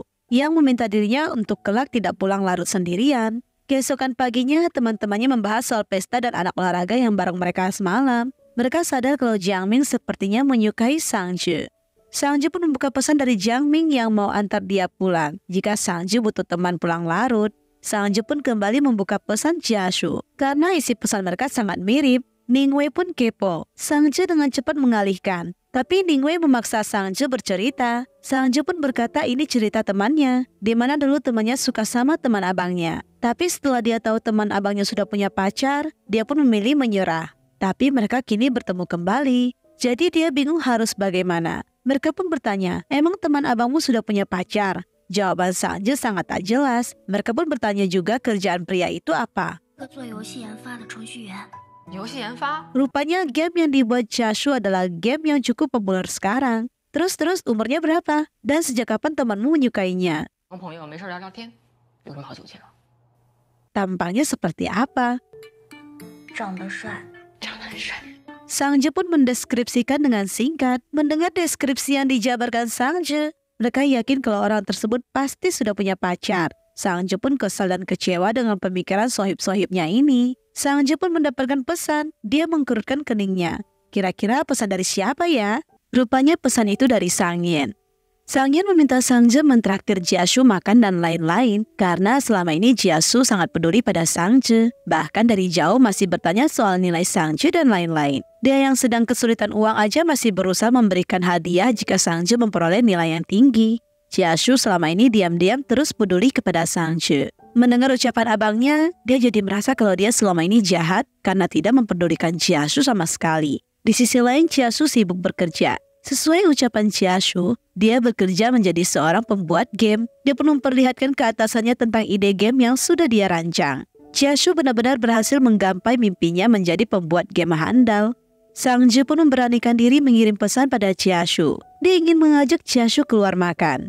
Dia pun bertanya kapan Jiashu sempat dan lain-lain. Jiashu menerima pesan dari Sangju, tapi dia merasa ada yang aneh dengan isi chat Sangju. Dia pun membalas pesan Sangju, tapi Sangju kembali membalasnya dengan menggunakan kata Anda. Jiashu pun menelponnya. Jiashu memberitahukan kapan dia bisa pergi makan dengan Sangju. Sangju pun kembali menggunakan bahasa formal.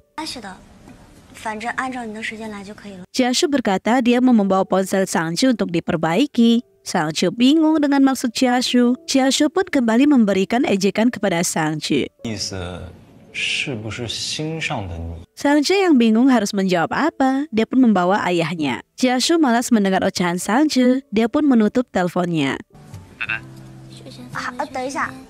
Tapi Sangju menahannya dan berkata kalau dia selama ini bukannya mau mengabaikan Jiasu, tapi dia terlalu fokus belajar dan sekolah. Maka dari itu dia tidak membawa ponselnya. Jiasu pun mengerti. Scene selanjutnya terlihat Jiang Ming menghampiri mereka. Mereka juga dikejutkan dengan Ning Wei yang kini sudah berpacaran. Apalagi mereka muncul dengan menggunakan baju couple. Jiang Ming dengan terang-terangan mengajak Sanchi pergi nonton. Ning Wei pun sedikit mengejek. Akhirnya Jiang Ming meminta semuanya untuk pergi bersama-sama. Tapi Sanji merasa waktunya bentrok dengan dirinya yang ada janji bersama Jiashu. Teman-temannya tetap membujuk Sanji untuk ikut. Alhasil Sanji merasa boleh juga deh. Kalau dia canggung saat makan dengan Jiashu, dia ada alasan buat kabur. Di sisi lain, Jiashu menerima paket. Paket itu rupanya dari Jiang Ying. Hal ini membuat Jiashu tidak nyaman. Dia sama sekali tidak pernah mau menggunakan apa pun yang diberikan Jiang Ying. Dia pun mengirim pesan dan meminta mereka untuk tidak berhubungan lagi. Jiang Ying melihat pesan itu, dia tidak terima. Dia pun terus mengusik dan meminta untuk bertemu. Jiashu benar-benar mengabaikannya. Jiashu pergi ke ruang rapat, tapi dia terlihat kurang sehat dan sepertinya menahan kesakitan di bagian perutnya.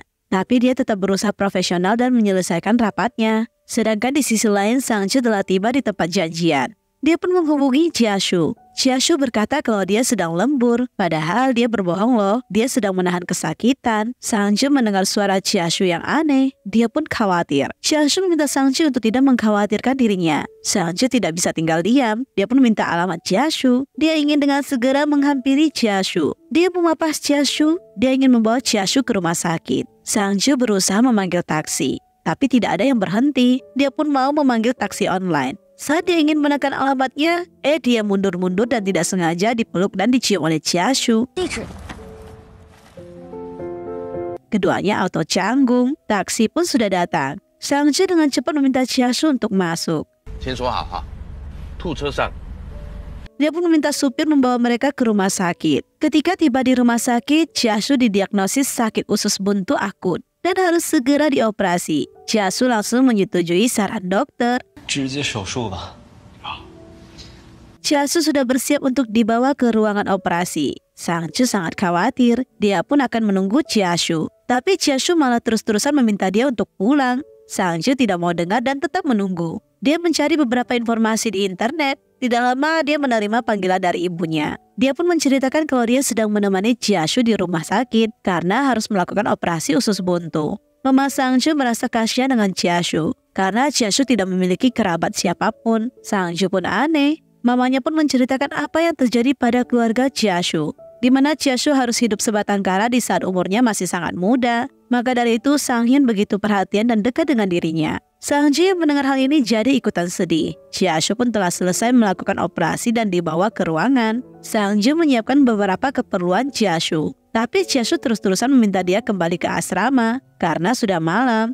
Sangju masih tidak terima jika Chiashu menganggap dia sebagai anak kecil. Sanji pun akhirnya menurut dan akan datang berkunjung lagi besok. Tapi Jiashu meminta Sanji datang lagi ketika tidak ada kelas aja. Dia tidak mau Sanji repot bolak-balik mengurusnya. Saat Sangju pergi, Jiashu jadi teringat sama kejadian tadi. Dia takut hal itu mengganggu Sangju. Dia menerima panggilan dari Sang Yin yang bertanya soal keadaannya. Keduanya emang sohib sejati. Tapi Sang Yin kesal karena dia dibuat penasaran oleh Jiashu. Oh, ya, 你能不能别每次都这样？有什么话 Tidak lama, Chiashu melihat Sangji kembali. Sangji berkata dia akan menginap mengurus Chiashu. Chiashu melihat Sangji hanya membeli roti. Dia pun mau memberikan Sangji makanan. 我又不是小孩了，吃点东西。 Sangji berkata kalau dia lapar, dia akan makan. Dia akan mengurus dirinya sendiri. Dia kembali mengingatkan Chiashu untuk tidak memperlakukannya seperti anak kecil. Saat Sangji makan, Chiashu terus memperhatikannya. Dia pun merasa saat Sanje makan memang sangat lucu. Sangju ke toilet. Dia tahu kalau Chiasu pasti tidak bisa mandi. Karena Chiasu belum bisa turun dari kasur, soalnya baru habis operasi. Dia membasahkan sebuah handuk. Dia ingin membantu Chiasu untuk membersihkan mukanya. Tapi dia tidak mengizinkan Chiasu melakukannya sendiri. Dia takut lukanya akan robek kembali. Akhirnya Sangju membantunya. Tapi Sangji jadi tegang dan canggung ketika dia bisa melihat muka Jiashu dengan begitu dekat. Bagi dia, Jiashu itu begitu tampan. Yang buat dia kaget, Jiashu tiba-tiba membuka matanya. Karena kaget melihat Shu membuka matanya, Sang pun dengan cepat pergi ke toilet. Dia benar-benar shock karena Jiashu tidak memberikan aba-aba sama sekali. Saat dia keluar, dia meminta Jiashu segera tidur. Sangje pun menyiapkan tempat tidurnya. Dia mematikan lampu kamar. Dia melihat Chiashu sudah tertidur. Dia pun mengirimkan pesan pada sahabat-sahabatnya kalau dia tidak akan pulang malam ini. Karena ada kerabat yang sedang sakit. Dia tidak sengaja memutar pesan suara yang dikirim Jiang Ming. 我在电影院门口，你到了吗？ Jashu pun mulai berbicara. Bagi Sangje, Jashu sengaja pura-pura tidur dan menguping pembicaraannya. 是谁把语音放出来的？ Jiasu penasaran siapa orang yang sedang mendekati Sangje. Sangje merasa kalau dia cerita juga Jiasu tidak akan kenal. Tapi Jiasu masih saja kepo. Dia juga sedikit mengajak Sangje yang rupanya begitu populer. Sangje pun meminta Jiasu untuk istirahat. Karena umur sudah tua jadi harus tidur awal. Jangan ikut campur dan kepo urusan anak muda. Gimana pun kamu tidak akan paham dunia anak muda seperti kami. Auto savage deh. Keesokan paginya, Sangche masih membantu Chiashu membersihkan rumah. Chiashu meminta bantuan Sangche untuk mengambilkan beberapa keperluannya di rumah, termaksud laptop. Sangche aneh, emang laptop untuk apa? Chiashu pun berniat menyelesaikan kerjaannya. Sangche tidak setuju, karena menurut dia Chiashu harus banyak istirahat. Tapi Chiashu berkata dia berinvestasi ke bidang itu, jadi dia harus menyelesaikan kerjaannya segera. Sangji tetap saja tidak setuju untuk membawakan laptopnya. 但我还是不会拿电脑的。 Jashu pun menghela nafas. Mendengar Sangju menegurnya, dia tidak menyangka Sangju kini benar-benar sudah dewasa.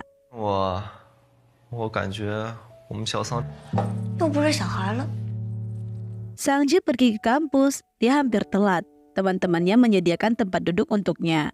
Dia berkata kalau dia selesai akan langsung ke rumah sakit lagi. Mereka pun menceritakan betapa Jiang Ming kecewa karena Sangju tidak muncul. Padahal dia sudah susah payah memperoleh tiket itu. Karena tidak enak hati, Sangju menemui Jiang Ming dan meminta maaf. Dia berjanji akan mentraktir Jiang Ming kalau ada waktu. Jiang Ming langsung auto menentukan waktunya. Sangju pun mau tidak mau harus menepati ucapannya. Chiashu terlihat sibuk mengurus kerjaannya. Dia sampai meminta atasannya mengirimkan dia laptop. Tapi atasannya juga meminta Chiashu fokus istirahat saja. Jangan pikirkan kerjaan terus. Saat Chiashu ke toilet, terlihat Jiang Ying mengirim pesan. Jiang Ying emang gadis aneh yang terus-terusan mengganggu Chiashu. Di sini terlihat Sangju menuju ke alamat rumah Chiashu. Setelah dia masuk ke rumah Jiashu, dia melihat Jiashu memajang foto mereka berdua saat wisuda. Dia pun tersenyum melihat foto itu. Sangju pun menyiapkan beberapa barang yang dibutuhkan Jiashu. Seperti biasa, Sangju malu-malu ketika harus mengambilkan dalaman untuk Jiashu. Setelah selesai mengambil keperluan Jiashu, dia melihat laptop di atas meja Jiashu. Dia pun ragu antara mau bawa atau tidak ya. Saat Sangju turun, dia melihat Jiang Ying mau masuk ke dalam. Sangju pun membiarkan hal itu. Jiang Ying terus mengetuk pintu rumah Jiashu. Dia ngotot mau ketemu, tapi tidak mendapatkan jawaban. Dia juga mencoba menghubungi Jiashu. Sangju tiba di rumah sakit, dia pun memberikan beberapa barang-barang Jiashu. 住院穿，一件呢可以帮。 Sanji berkata dia membawakan barang yang diminta Jashu. Jashu pun berterima kasih. Dia juga berjanji tidak akan bekerja berlebihan. Ah, Jashu meminta Sanji untuk pergi makan. Sanji merasa Jashu terus-terusan saja meminta dia untuk makan dan makan. Dia pun ceramah deh. Dan kini di ruangan itu sekarang ada kakek-kakek juga, di mana kakek-kakek itu pendengarannya kurang baik. Dia mengira Chiasu dan Sangji adalah suami istri. Chiasu berusaha menjelaskan, tapi kakek itu malah semakin jauh pendengarannya. Chiasu pun bingung gimana harus menjelaskannya lagi.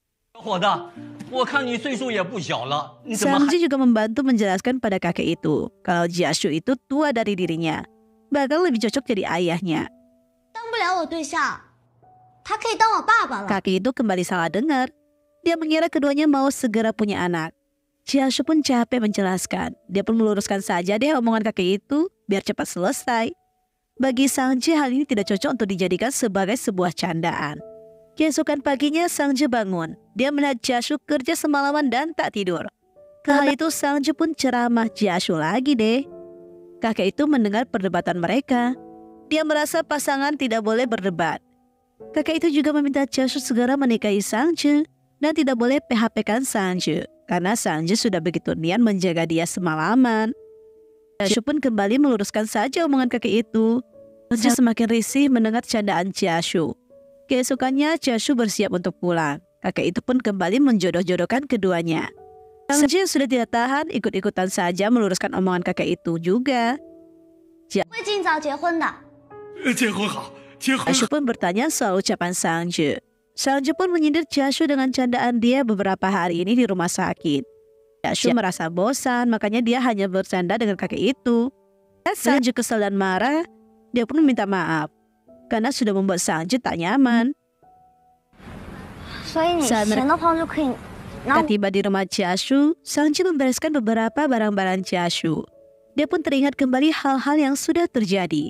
Dia pun dia merasa Jashu dengan gampangnya bercanda soal cinta dengan kakek tadi.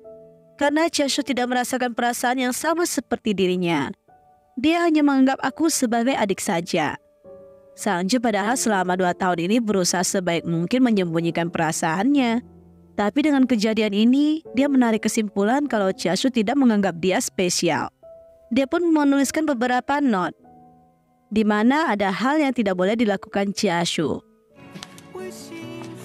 Oh, Setelah selesai membantu Chiasu, dia mau segera kembali ke kampus. Saat Chiasu menawarkan diri untuk mengantar dia, dia pun dengan tegas menolak Chiasu. Dia langsung dengan cepat berlari pergi. Saat dia turun ke bawah, dia merasa semuanya kini benar-benar berakhir.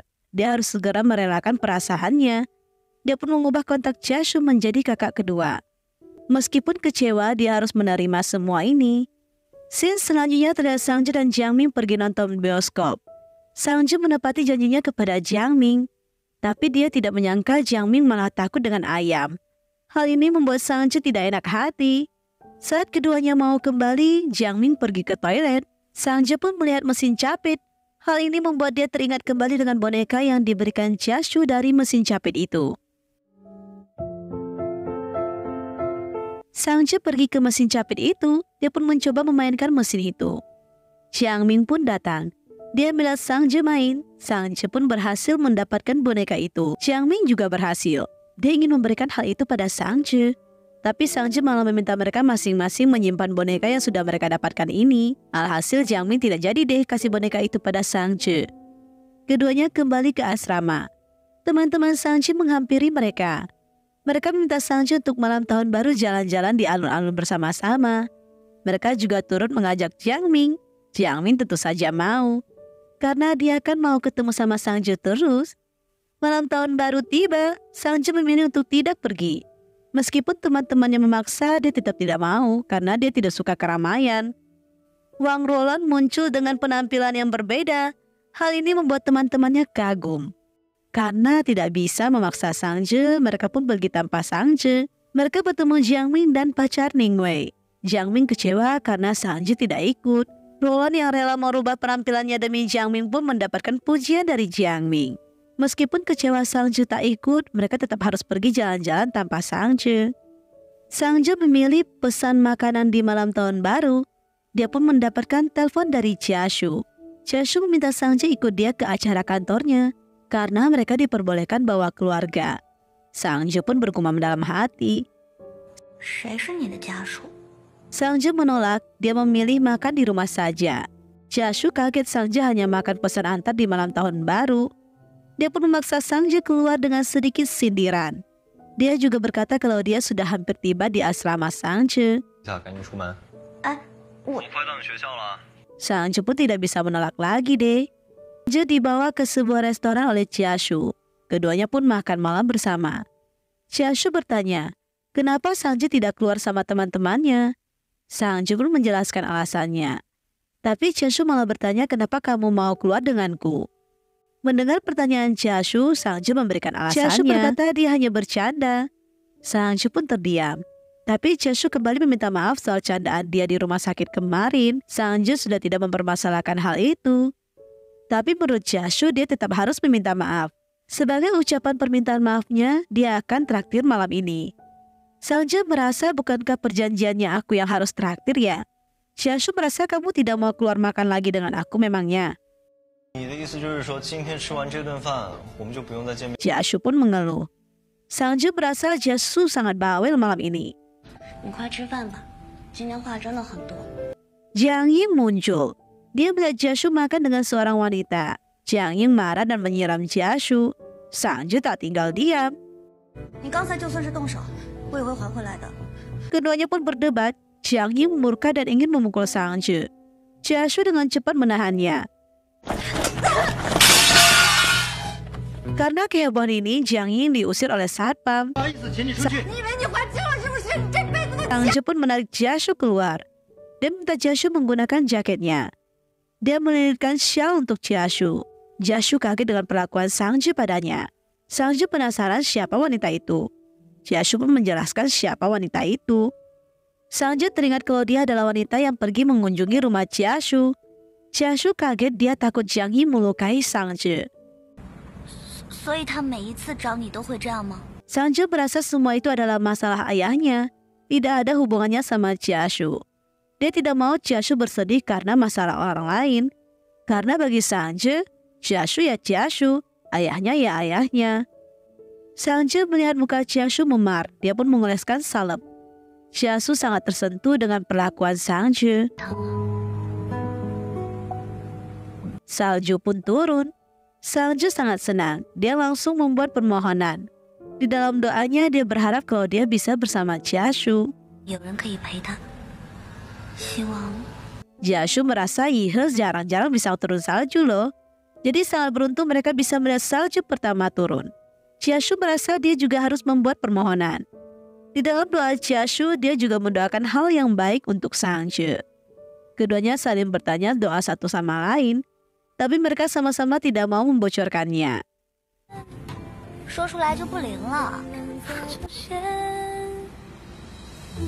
Di sini terlihat Jiashu berjalan kembali.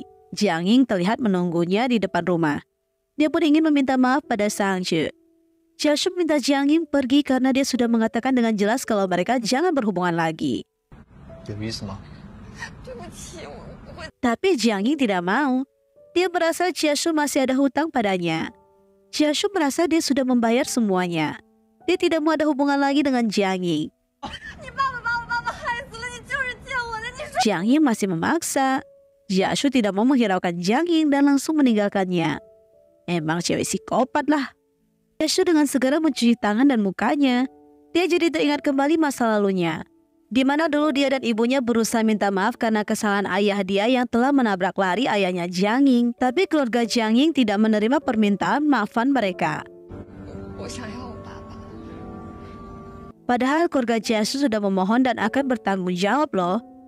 Sampai di sekolah, Jiasu juga terus-terusan dicuekin sama Jiang Ying. Padahal Jiaxu berusaha sebaik mungkin menebus kesalahan ayahnya. Jiang Ying malah menolak mentah-mentah. Jiaxu benar-benar stres dengan masalah ini yang terus menghantui dirinya. Tapi ketika dia teringat dengan ucapan Sang Sangce, keresahan dalam hatinya sedikit demi sedikit mereda.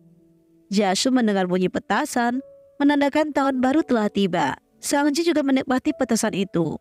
Jiaxu pun mengirim pesan pada Sang Sangce dia juga kembali mengingat momen-momen bersama mereka. Jiasu ingin mengubah nama kontak Sang Che, tapi dia teringat kembali dengan keributan yang dibuat Jiang Ying tadi. Jiashu pun jadi bimbang. Di sisi lain dia senang Sang Je dekat dengannya. Di sisi lain dia takut juga Jiang Yi melukai Sang Je.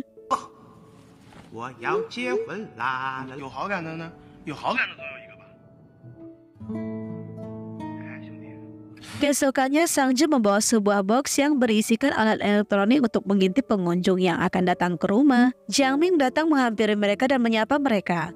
Dia bertanya soal Sang Je yang tidak ikut serta saat malam tahun baru.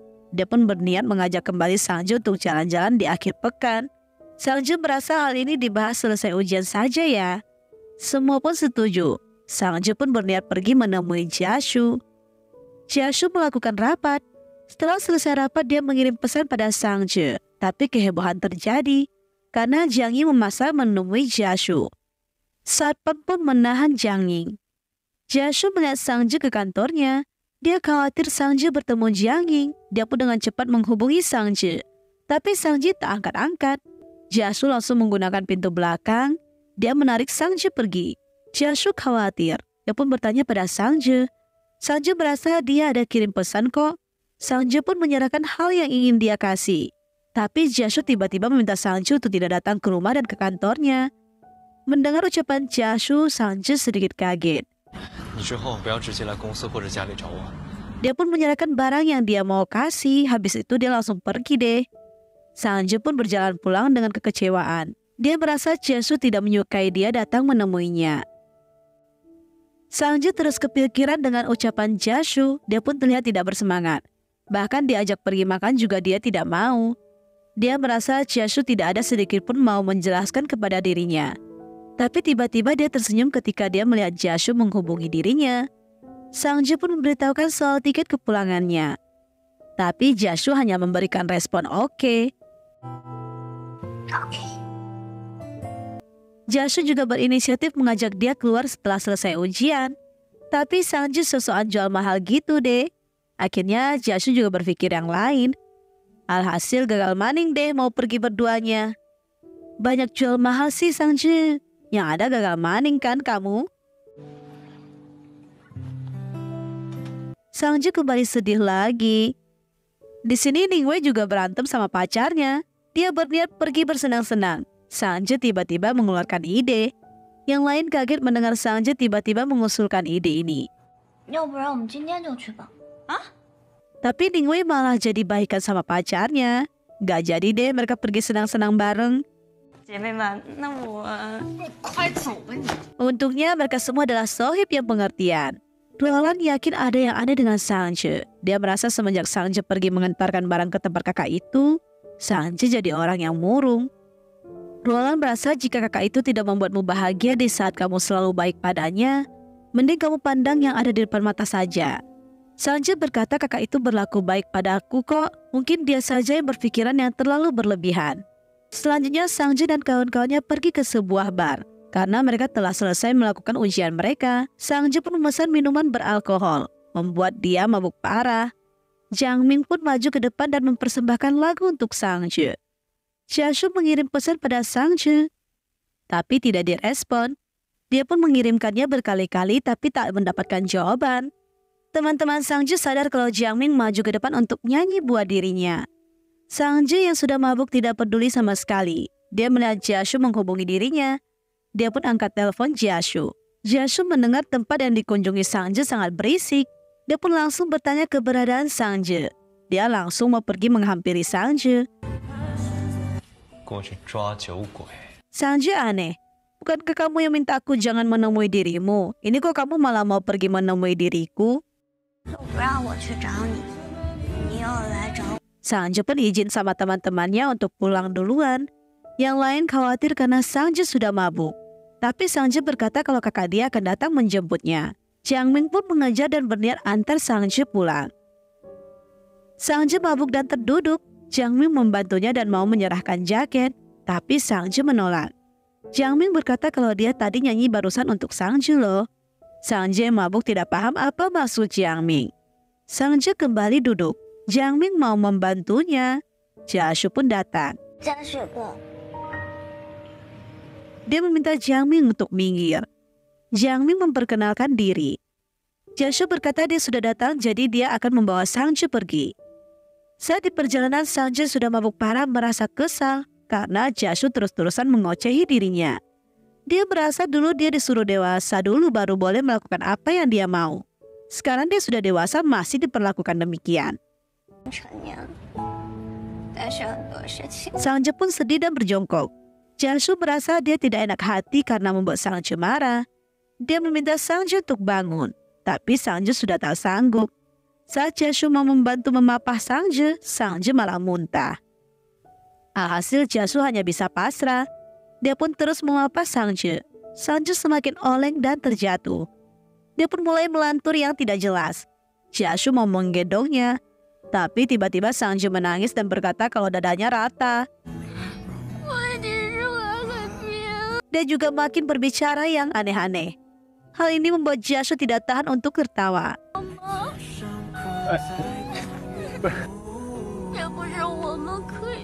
Tapi Joshua harus bisa mengontrol diri supaya Sangje bisa segera nurut. Sangje pun digendong oleh Joshua. Tiba-tiba Sangje curhat. Dia menceritakan kalau dia menyukai seseorang, tapi orang itu tidak menyukai dirinya. Joshua kepo siapa orangnya. Sangje tidak mau bilang. Dia hanya bercerita kalau orang itu baik padanya, bahkan sangat baik. Tapi menurut dia orang itu tidak hanya baik padanya saja, bahkan baik pada semua orang. Kepada semua wanita juga. Sangje yang mabuk pun jadi nangis terseduh-seduh. Jashu pun jadi agak gimana gitu. Dia benar sedih ketika mendengar cerita Sangje, karena Jashu sudah mulai ada sedikit rasa dengan Sangje. Saat dia membawanya ke dalam mobil, Jashu terus menatapi Sangje.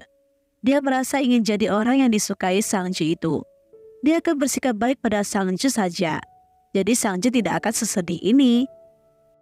你不说话，我就当大。 Dia merasa semua masalah dia sudah kelar. Hutang dia juga sudah lunas. Hanya saja dia lebih tua dari Sangje. Tapi menurut dia, Sangje juga sudah dewasa. Setelah dia berbicara, dia bingung apa yang dilakukan dari tadi. Tapi Jashu benar-benar sudah jatuh hati beneran loh sama Sangje. Keesokannya Sangje terbangun. Dia berusaha mengingat apa yang terjadi semalam. Dia juga tidak tahu apa yang diucapkan Jashu. Jashu juga langsung mengirimkan pesan. Dia meminta Sangje untuk bersiap-siap karena dia akan datang menjemput.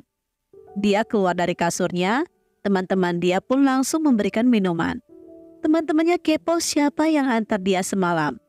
Rupanya itu adalah kakak yang sering diceritakan Sangje.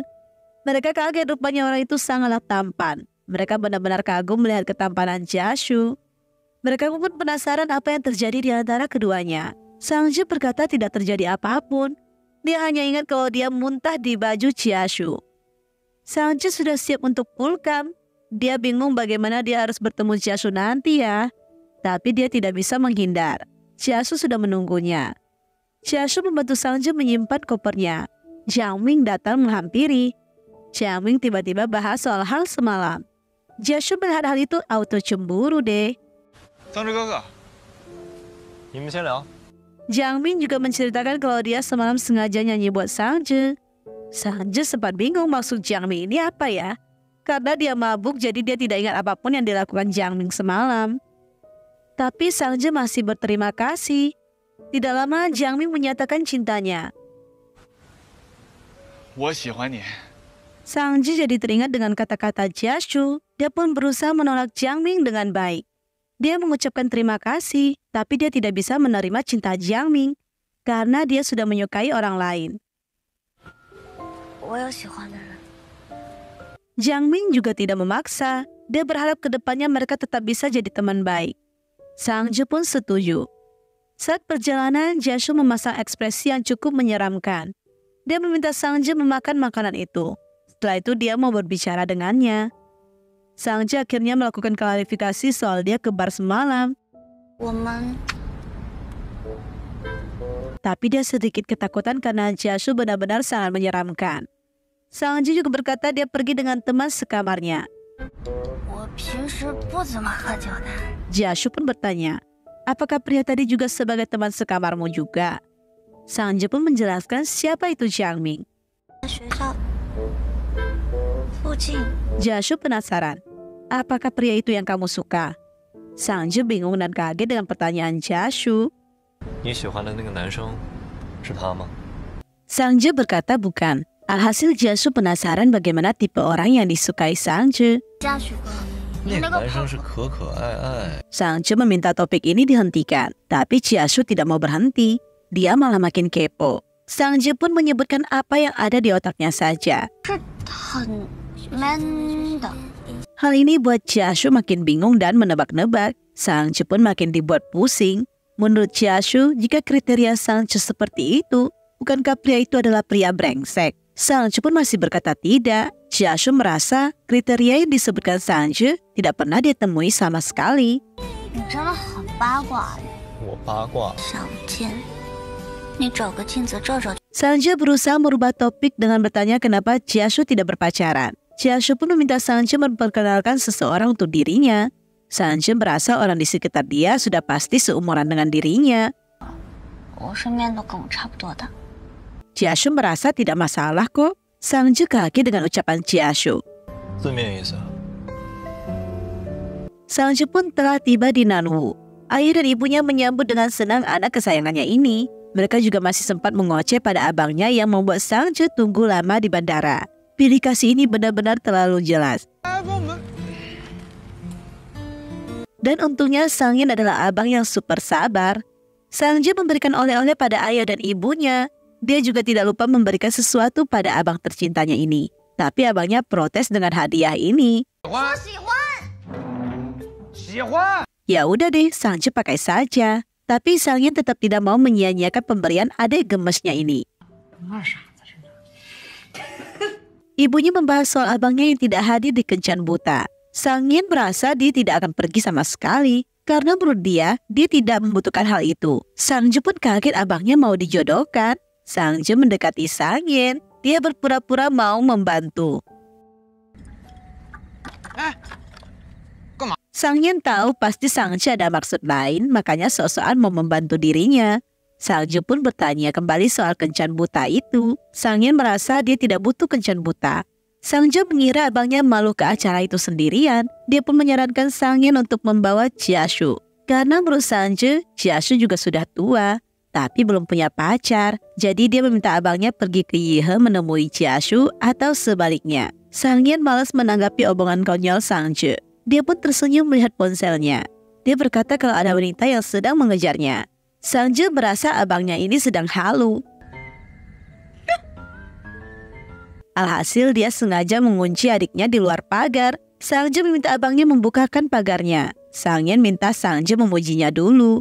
Mau tidak mau Sang Ju harus menurut. Tapi abangnya makin iseng. Karena sudah melakukan sesuai permintaan, dia pun membukanya. 你 Tapi sebaliknya dia yang dikunci Sang Ju dari luar. Emangnya duo Tom and Jerry ini 妈妈？Sang Ju bersiap untuk istirahat. Dia melihat kotak barang-barang yang diberikan Jiashu. Dia meminta ibunya cepat keluar. Dia pun mengeluarkan kembali barang-barang pemberian itu. Dia mengirim pesan pada Jiashu dan membahas soal Sang Yen.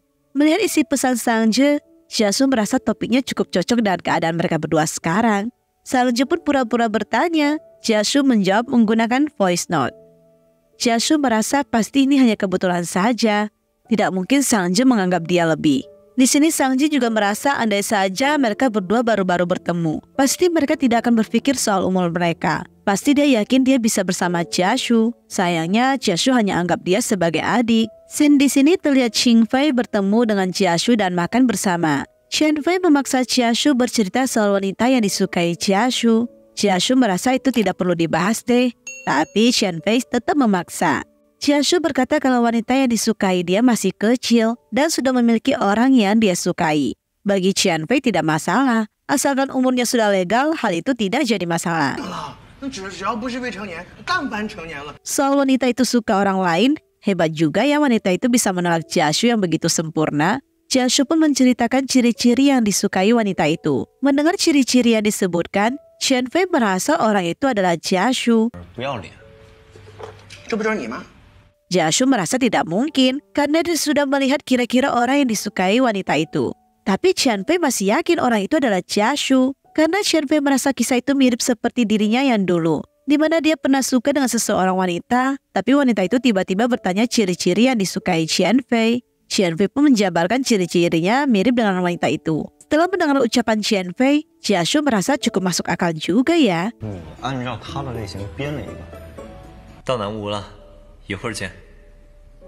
Sang Ji dan Sang Yan pun hadir di pernikahan Qian Fei.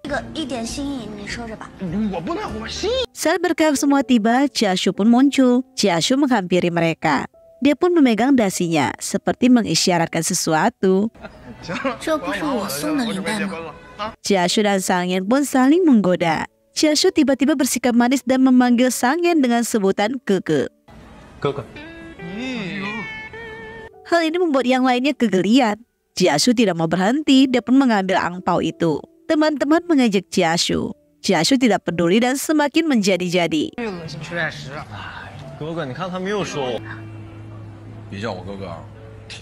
Sang Je merasa ada yang aneh dengan Jashu. Sang Yan pun memperlihatkan rumah sakit Yihe.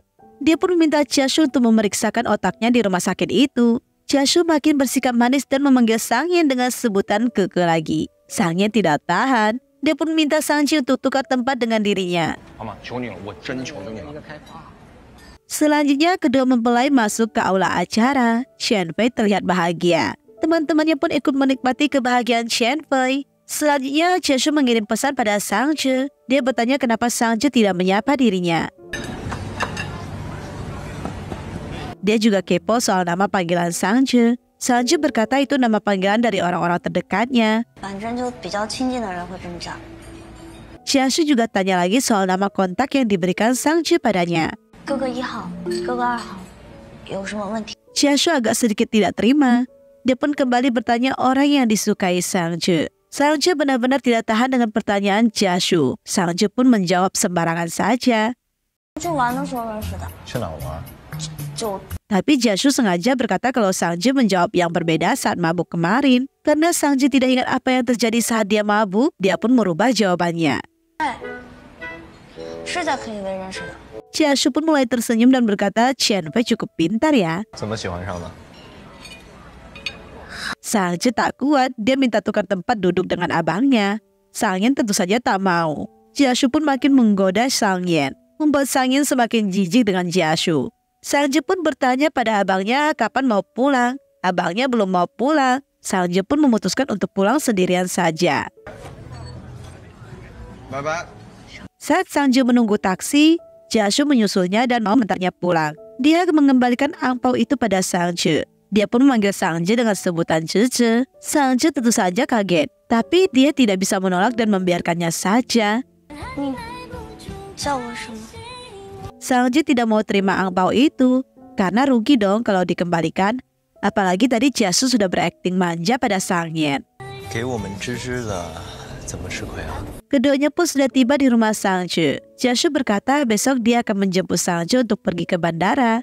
Jashu pun memberikan sebuah hadiah pada Sangju. Sangju menerimanya. Jashu pun meminta Sangju untuk masuk.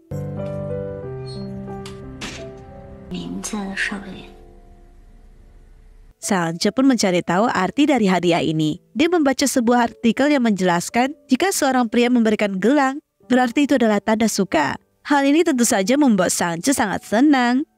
Tapi ketika dia scroll ke bawah lagi ada arti yang berbeda, yaitu hadiah dari senior untuk junior. Hal ini membuat rasa senang Sangja auto drop deh. Sangja mendengar suara ayah dan ibunya.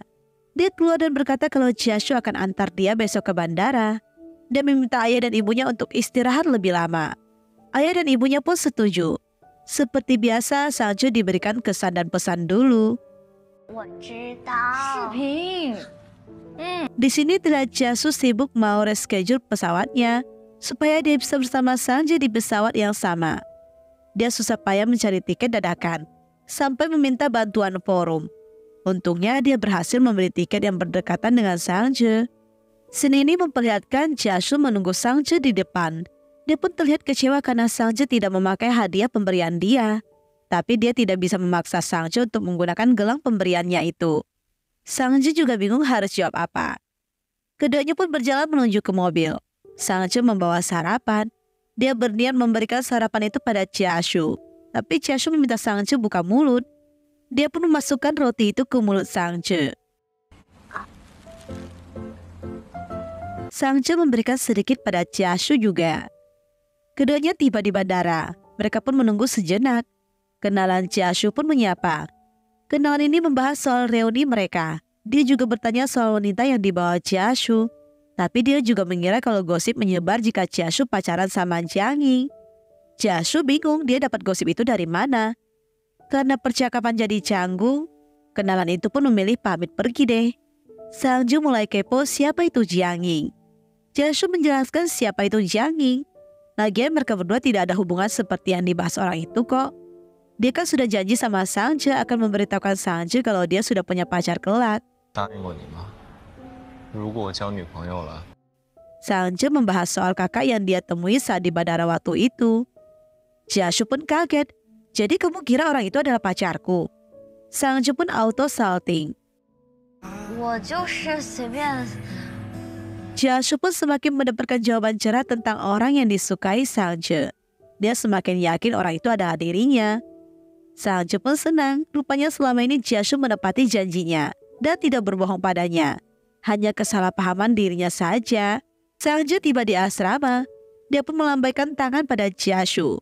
Ningwei di belakang ikut nimbrung. Ningwei pun mengejek Sangje. Sangje bingung dengan perlakuan Jiashu kepadanya. Dia pun curhat dengan Ningwei. Akhirnya dia mendapatkan jawaban dari Jiashu kalau Jiashu itu tidak pernah pacaran. Sangje bertanya pendapat Ningwei. Apakah salah ya kalau dia melihat perubahan Jasu sekarang sangat aneh? Tapi Salju tidak berani memikirkan hal itu. Cuma dia merasa ada sedikit rasa kalau Jasu itu suka padanya. Tapi dia tidak berani kepedean juga sih. Ningwei aneh, kenapa Salju begitu ragu-ragu? Salju merasa begini karena dia tahu Jasu mengikuti perkembangannya. Jika mereka baru bertemu, pasti Salju lebih berani mengejarnya. Ditolak pun dia tidak akan mundur. Tapi Ningwei tidak sependapat. Karena bagi Ningwei hal itu tidak bisa dikatakan ikut perkembanganmu. Lagian memang kenapa jika beda usia? Bahkan ada kok yang bedanya lebih jauh, tapi tidak ada masalah sama sekali. Kamu bersikaplah seperti teman biasa. Gak usah banyak pikir deh. Jika kamu suka, kamu bertindaklah lebih aktif lagi. Niwe mah orangnya langsung gas ngeng. Jiashu terlihat menelpon Chen Fei. Dia berkata tebakan Chen Pei tepat sekali. Dia pun meminta trik cara Chen Pei mengejar istrinya. Menurut Chen Pei harusnya kamu nyatakan saja perasaanmu. Tapi Jia Su tidak mau. Dia tetap harus mengejar wanita ini. Karena dia bersikap pura-pura tidak tahu bahwa pria yang disukai wanita itu adalah dirinya.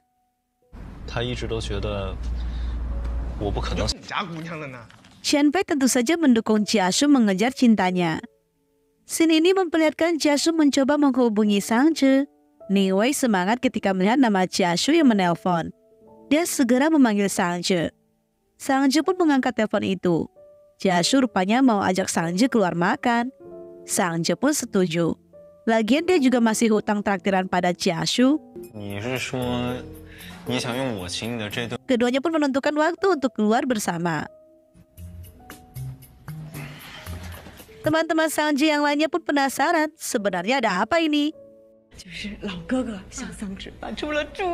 Roland bertanya gimana soal Jiang Ming. Sangji merasa dia dan Jiang Ming hanya teman biasa. Lagian dia juga sudah menolak Jiang Ming kok. Roland tentu saja senang mendengar kabar ini karena dia begitu menyukai Jiang Ming. Hari H pergi makan pun tiba. Sangji sudah bersiap dengan cantik. Jasu sedang melakukan rapat. Setelah selesai rapat, atasan dia seperti sedang sedikit mengejeknya. Kawan-kawan kantor yang lain juga bersikap aneh. Jiasu juga bingung dengan kelakuan mereka. Tapi dia malas tanggapin. Jiasu pun pergi menjemput Sang Ju. Sang Ju dengan cepat pergi turun. Jiasu dibuat kaget dengan penampilan Sang Ju yang begitu cantik. 今天穿的挺好看啊。 Tapi Sangju dibuat kaget rupanya Jiasu mau bawa dia menemui seseorang. Sangju pun mulai netting deh. Dia sampai bingung harus duduk di bagian mana. Tapi Jiasu membukakan dia pintu dan minta dia duduk di sampingnya. Saat keduanya tiba di sebuah kafe, Jiasu membawa Sangju menemui atasannya. Jiasu pun memperkenalkan atasan dia kepada Sangju. Keduanya pun saling kenalan. Kak Siyun pun berbicara soal dia pertama kali bertemu Sangju di bandara. Mereka pun memesan makanan. Tidak lama Chiasu izin ke toilet sebentar. Kak Siyun bercerita kalau dia ikut Chiasu ke bandara menemui Sangju waktu itu karena Chiasu sedang sakit dan kebetulan suami dia sedang ada kerjaan. Jadi Siyun lah yang mengantar dia ke bandara. Dan saat itulah mereka pertama kali bertemu. Pada saat itu Jiasu berpikir kalau Sangju bertemu dengannya, dia sedang dalam keadaan malu. Karena masalah yang dialami Sangju, jadi Sion pun memilih untuk pergi tanpa pamit. Karena dia berusaha mengerti keadaan yang dialami Sangju. Mendengar ucapan Kak Sion, Sangju benar-benar tahu rupanya Sion bukanlah pacar Jiasu. Selain itu, Sion bilang kalau Jiasu pada saat itu benar-benar sangat marah. Dia sengaja meminta Sangju pergi ke toilet. Karena dia tahu Sangju sedang menahan tangis. Jiasu sedih melihat Sangju harus mengalami kesedihan ini. Makanya dia benar-benar kesal sekali. Sangji juga akhirnya tahu kalau dia malah mengira keduanya adalah sepasang kekasih yang cocok. Padahal pembahasan mereka itu mengenai dirinya. Tiba-tiba suami Kak Siun dan beberapa rekan muncul. Hal ini membuat Sangju sangat kaget. Mereka juga meminta Jiasu memperkenalkan Sangju. Jiasu berkata kalau Sangju adalah temannya. Sangju kaget kalau Jiasu memperkenalkan dirinya sebagai teman. Padahal dia dulu selalu berkata kalau Sangja adalah adiknya. Semuanya pun berkenalan dengan Sangju. Jasu sadar kalau Sangju kurang nyaman dengan keramaian ini. Jasu pun mengajak Sangju untuk makan tempat lain saja. Dia langsung menarik Sangju pergi. Sangju sadar kalau Jasu sengaja meminta Kasion menjelaskan kesalahpahaman ini. Padahal Sangju percaya pada Jasu kok. Tapi Jasu merasa hal ini harus diklarifikasi karena dia tidak mau ke depannya akan jadi hal yang merepotkan. Jashu pun ingin membawa Sanje pergi nonton. Sanje setuju. Keduanya pun pergi beli minuman sejenak. Sanje mendapatkan pesan dari kawan-kawannya yang super kepo tentang perkembangan dia dan kakak tuanya itu. Sanje berkata dia akan pulang larut. Mendengar jawaban Sanje, mereka yakin perkembangan ini begitu pesat. Minuman pun sudah selesai. Salju meminumnya, tapi dia merasakan teh susu. Hal ini membuat Salju terdiam karena dia alergi susu. Jashu pun panik. Jashu menukar minuman itu. Tapi ketika dia selesai menukarnya, Jashu melihat muka Salju sudah muncul ruam. Dia khawatir dan mau membawa Salju ke rumah sakit. Tapi Salju bilang, minum obat saja sudah cukup kok. Alhasil Jiasu memberikan beberapa obat untuk Salje. Salje kesal, kenapa sih harus hari ini? Jiasu pun tiba-tiba memperhatikan Salje dengan seksama. Jiasu memastikan wajah Salje sudah baikan. Tapi Salje berkata tidak secepat itu. Jiasu pun berniat mengantar Sangje kembali. Dia teringat kalau dulu dia pernah memberikan susu pada Sangje. Tapi Sanji dengan cepat berkata kalau dia tidak meminumnya. Dia memberikan susu itu pada temannya. Dan botolnya sudah dibuang juga kok, padahal ya botolnya masih disimpan dengan rapi bak harta karun. Jashu pun berjalan mengantar Sangju kembali. Dia melihat Sangju menggaruk mukanya. Jashu pun menahannya. Dia pun meminta Sangju untuk patuh. Sangja tersenyum melihat Jasho menggandengnya seperti ini, seperti sedang bawa anak anjing jalan-jalan. Tidak lama Sangja kepo, kenapa Jasho memperkenalkan dirinya sebagai teman. Biasanya kamu bilang ke orang-orang kalau aku adalah adikmu. Sangju terdiam. Jiasu seperti mau mengungkapkan sesuatu, tapi Jiasu mengurung niatnya. Jashu berniat merayakan ulang tahun Sangju. Sangju kaget rupanya Jashu ada niat demikian. Dia juga kembali bertanya pada Jashu, kalau kamu ulang tahun gimana? Jashu tidak mau merayakannya, karena kalau dirayakan sendirian tidaklah seru. Ampun deh kode keras kali ini. Teman-teman Sangju penasaran, mengapa ya Sangju belum juga kembali? 我我喝奶茶有点过敏。 Saat Sangja pulang, mereka pun penasaran bagaimana dengan kencan mereka. Jadi kencannya gimana? Melihat ekspresi Sangja, mereka yakin kencan ini berjalan dengan lancar. Sangja juga merasa kalau Jiasu sepertinya sedikit menyukai dirinya. 他也有一点喜欢我吧？ Tapi Sangja berkata kalau Jiasu tidak tahu kalau dia menyukai dirinya. Menurut Ningwei dari ekspresi Sangja sudah menunjukkan segalanya pada Jiasu tuh. Ningwei pun minta Sangja harus bisa menyembunyikan perasaannya. Karena wanita harus jadi orang yang dikejar. Selanjutnya terlihat Sangja keluar terburu-buru untuk menemui Jiasu. Tapi dia dihalangi oleh Jiang Ming. Jiang Ming mengucapkan happy birthday dan ingin memberikan hadiah. Sangja sudah menolaknya, tapi Jiang Ming tetap maksa untuk mengambilnya. Sangja pun menerimanya. Jiasu melihat hal itu. Jiang Ming pun menyapa Jia Shu. Jia Shu pun membantu Sangje membawa hadiah itu. Sangje masih berusaha menjelaskan keadaan dia dan Jiang Ming. Tidak lama, Jia Shu kembali membahas orang yang disukai Sangje. Jiashu tiba-tiba minta Sangje memperhatikan muka dia dengan seksama. Apakah mirip orang yang kamu sukai? Sangja pun kaget. Dia pun menebak apakah Jiasu sudah tahu ya. Sangja dengan cepat menjawab bukan dan meminta Jiasu untuk tidak membahasnya lagi. Kan kamu bilang dia cowok brengsek, jadi sekarang aku sedang tidak menyukai siapapun. Jiasu juga membahas soal Sangja yang menganggap cowok itu sebagai AC sentral. Itu adalah sebuah kiasan. Jiasu meminta Sangja menjabarkan beberapa pria yang memiliki kriteria tersebut. 他身边有很多的女性。 Apakah jika hanya ada masuk satu syarat sudah bisa dikatakan demikian? Sangja berkata harus ada ketiganya. Jiashu pun bergumam. Sangja bertanya apa yang Jiashu gumamkan. Keduanya terlihat naik ke dalam bus. Karena bioskop dekat sana sudah tidak ada tayang film yang mereka mau tonton, akhirnya mereka harus ke bioskop yang lain. Saat orang beramai-ramai mau turun bus, Jiasu dengan cepat melindungi Sangje. Jiasu melihat Sangje tidak ada pegangan. Dia pun minta Sangje untuk pegang padanya. Nanti kamu jatuh loh. Sangje malah pegang seiprit saja. Jiasu pun membuat Sangje pegang lebih erat lagi. Saat Sangje hampir terjatuh, Jiasu dengan cepat menahan Sangje dan menarik Sangje untuk lebih dekat dengan dirinya. Hal ini pun membuat Sangju begitu berbunga-bunga. Mereka pun tiba di mall untuk nonton bioskop. Sangju pergi beli minuman. Keduanya malah debat tipis soal minuman hangat dan dingin. Yolah. Yolah. Tapi Sangju tetap bisa menang debat. Dia pun merasa jika Jiasu begitu cerewet dengan dirinya. Jiasu meminta Sangju untuk segera terbiasa. Gurunya pun sudah masuk ke dalam bioskop. Jashu melihat Sangja kedinginan memegang minumannya.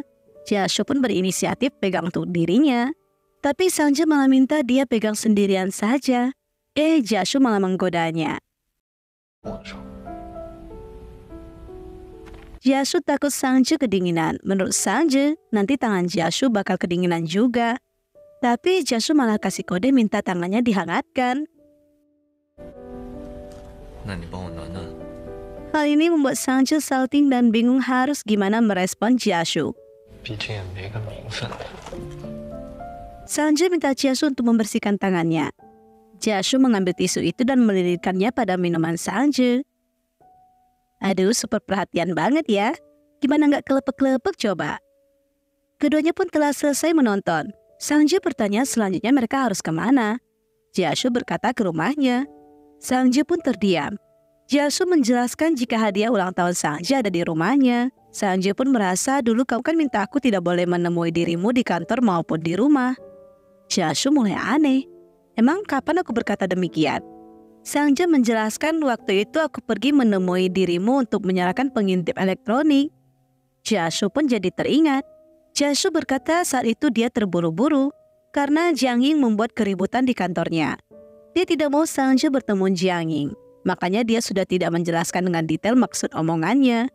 Jasu akhirnya tahu rupanya Sangje beberapa hari ini marah karena soal omongan itu. Dia pun minta maaf pada Sangje.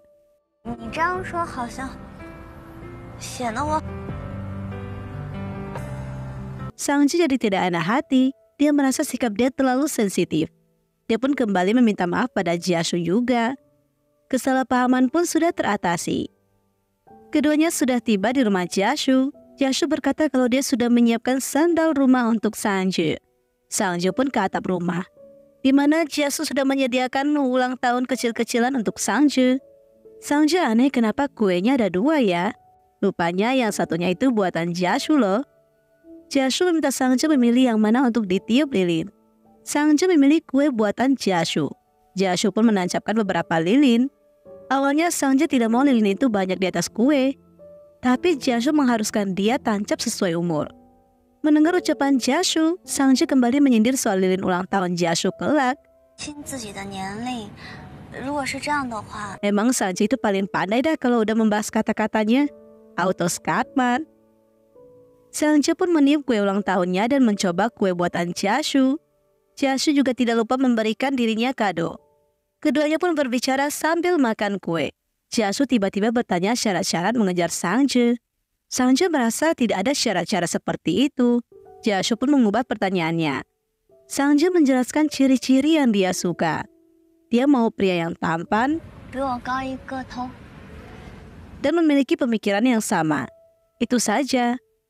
Mendengar ucapan Sangje, Jiasu merasa dia masuk ke seluruh kriteria yang disebutkan Sangje. Dia pun dengan tegas bertanya apakah aku boleh mengejarmu.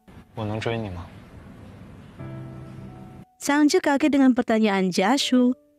我想的那个意思是， Jasu merasa memang ada maksud yang lain lagi dari pertanyaanku. Sang Je pun bingung, bukankah dulu kamu selalu menganggap aku sebagai anak kecil? Jasu merasa itu hanya sebuah sebutan. Toh kalau kamu sudah tua dan mau aku panggil sebagai anak kecil juga boleh kok. Lagian selama ini kamu panggil aku kakak. Emang kamu anggap aku kakak kandungmu? Sangju berkata, ya, tapi Jiasu tidak mau. Dia mau jadi pacar Sangju. Sangju makin terdiam dong. Jiasu meminta Sangju untuk jawab. Kalau tidak, dia tidak akan mampu bernapas nih. Sangju malah merasa harusnya ini terbalik tahu. Sangju pun berkata mana ada orang mau kejar seseorang harus bilang dulu. Jasu rasa harus dikatakan, kalau tidak nanti kamu menganggap semua perlakuan baikku hanyalah perhatian orang yang lebih tua. Jasu penasaran apakah Sanje ada perasaan terhadap dirinya. Sanje berkata tidak ada, tapi Sanje kembali menjelaskan. Kalau dia tidak tahu ke depannya siapa tahu setelah Jasu mengejarnya, tiba-tiba muncul perasaan itu.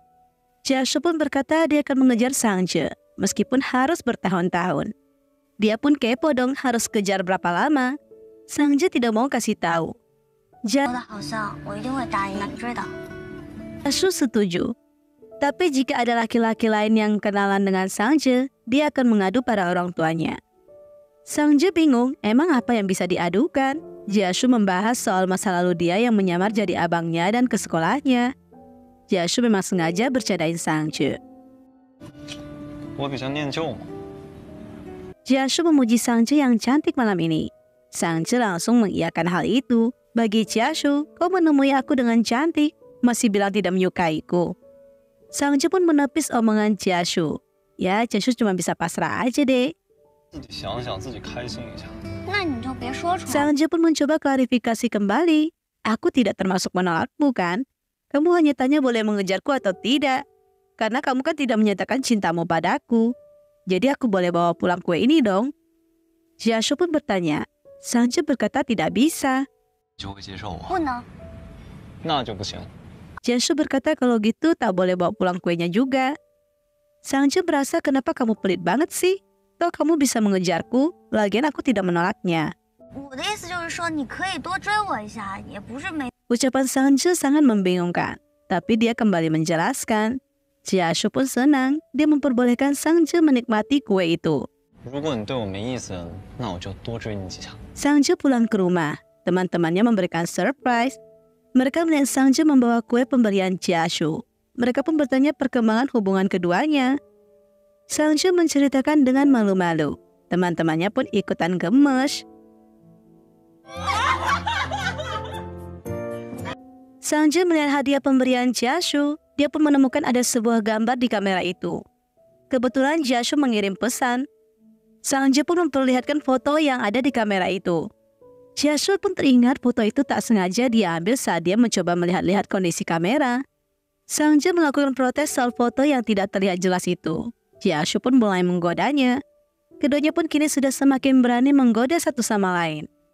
Sudah tidak pakai embel-embel kakak adik lagi loh. Sangje pun merubah nama kontak Jashu menjadi pengejar. Sangje mendapatkan hadiah ulang tahun dari abangnya. Sangje membalas pesan abangnya dengan berkata kalau dia akan segera pacaran. Abangnya membebaskan dia asalkan dia harus hati-hati. Tapi abangnya shock ketika dia membaca orang incaran Sangje lebih tua. Sangin pun menelpon. Dia tidak mengizinkan orang itu lebih tua dari dirinya. 就 Dia meminta Sangje fokus kuliah saja, jangan pikir pacaran-pacaran. Ningwei melihat Sangje sedang asik dengan gelang dan kameranya. Ningwei sudah menebak pasti itu dari Jiashu kan? Ningwei bertanya, kamu kasih waktu berapa lama pada Chia Shu untuk mengejar dirimu? Memang harus ada jangka waktu ya? Bagi Ningwei itu sangat perlu. Kamu pilih saja waktu yang terbaik menurut dirimu. Sangju malah mau menerima dia sekarang juga. Tapi nggak lama dia tiba-tiba ragu. Dia takut Chia Shu itu hanya semangat di awal saja. Nanti lama-kelamaan tak lagi sama. Menurut Ningwei, Sangja harus bisa melindungi diri. Karena kalian berdua juga sudah kenal lama kok. Karena dia sudah bertekad mencari dirimu, hal itu tidak mungkin akan terjadi. Kamu juga bisa menguji dirinya. Keesokannya Sangja muncul di depan teman-temannya dengan menggunakan gelang yang indah itu. Mereka pun mulai kepo. Tidak lama Sangje mendapatkan pesan dari Jiashu. Ningwei pun mulai ingin Sangje menguji Jiashu. Dia sengaja menjawab tidak ada waktu. Tapi yang lainnya merasa harusnya tidak perlu seperti itu. Nanti jika Jiasu tidak lulus gimana? Sanje pun jadi ragu. Tapi Ning Wei ngotot tetap harus diuji, supaya tahu keseriusannya. Di sisi lain, Jiasu dibuat bingung dengan jawaban Sanje. Dia pun bertanya pada rekannya. Dia pun mendapatkan jawaban, tapi dia masih ragu. Apakah benar seperti yang rekannya pikirkan ya? Akhirnya dia mencoba bertanya lagi. 谁可能没空啊？ 吃你的饭。 Sangja pun menatap Ningwei. Ningwei pun setuju karena bagi Ningwei Jiasu sudah lulus ujian. Jiasu pun senang karena dia berhasil membuat janji keluar sama gebetannya. Hari H kencan tiba, Sangja pun sudah bersiap dengan cantik. Sampai dia rela tolak ajakan teman-temannya. Tapi dia mendapatkan telepon dari Jiasu yang tiba-tiba membatalkan karena kerjaan. Sangja yang pengertian berusaha mengerti kesibukan Jiasu. Alhasil Sanja hanya bisa ikut teman-temannya pergi makan deh. Janjian selanjutnya juga begitu. Xiaoshu membatalkan lagi karena perihal kerjaan. Sanja kembali mengerti lagi. Dia pun hanya bisa pergi main lagi sama teman-temannya. Janjian berikutnya juga gagal lagi. Sanja benar-benar frustasi. Dia berusaha mengerti lagi.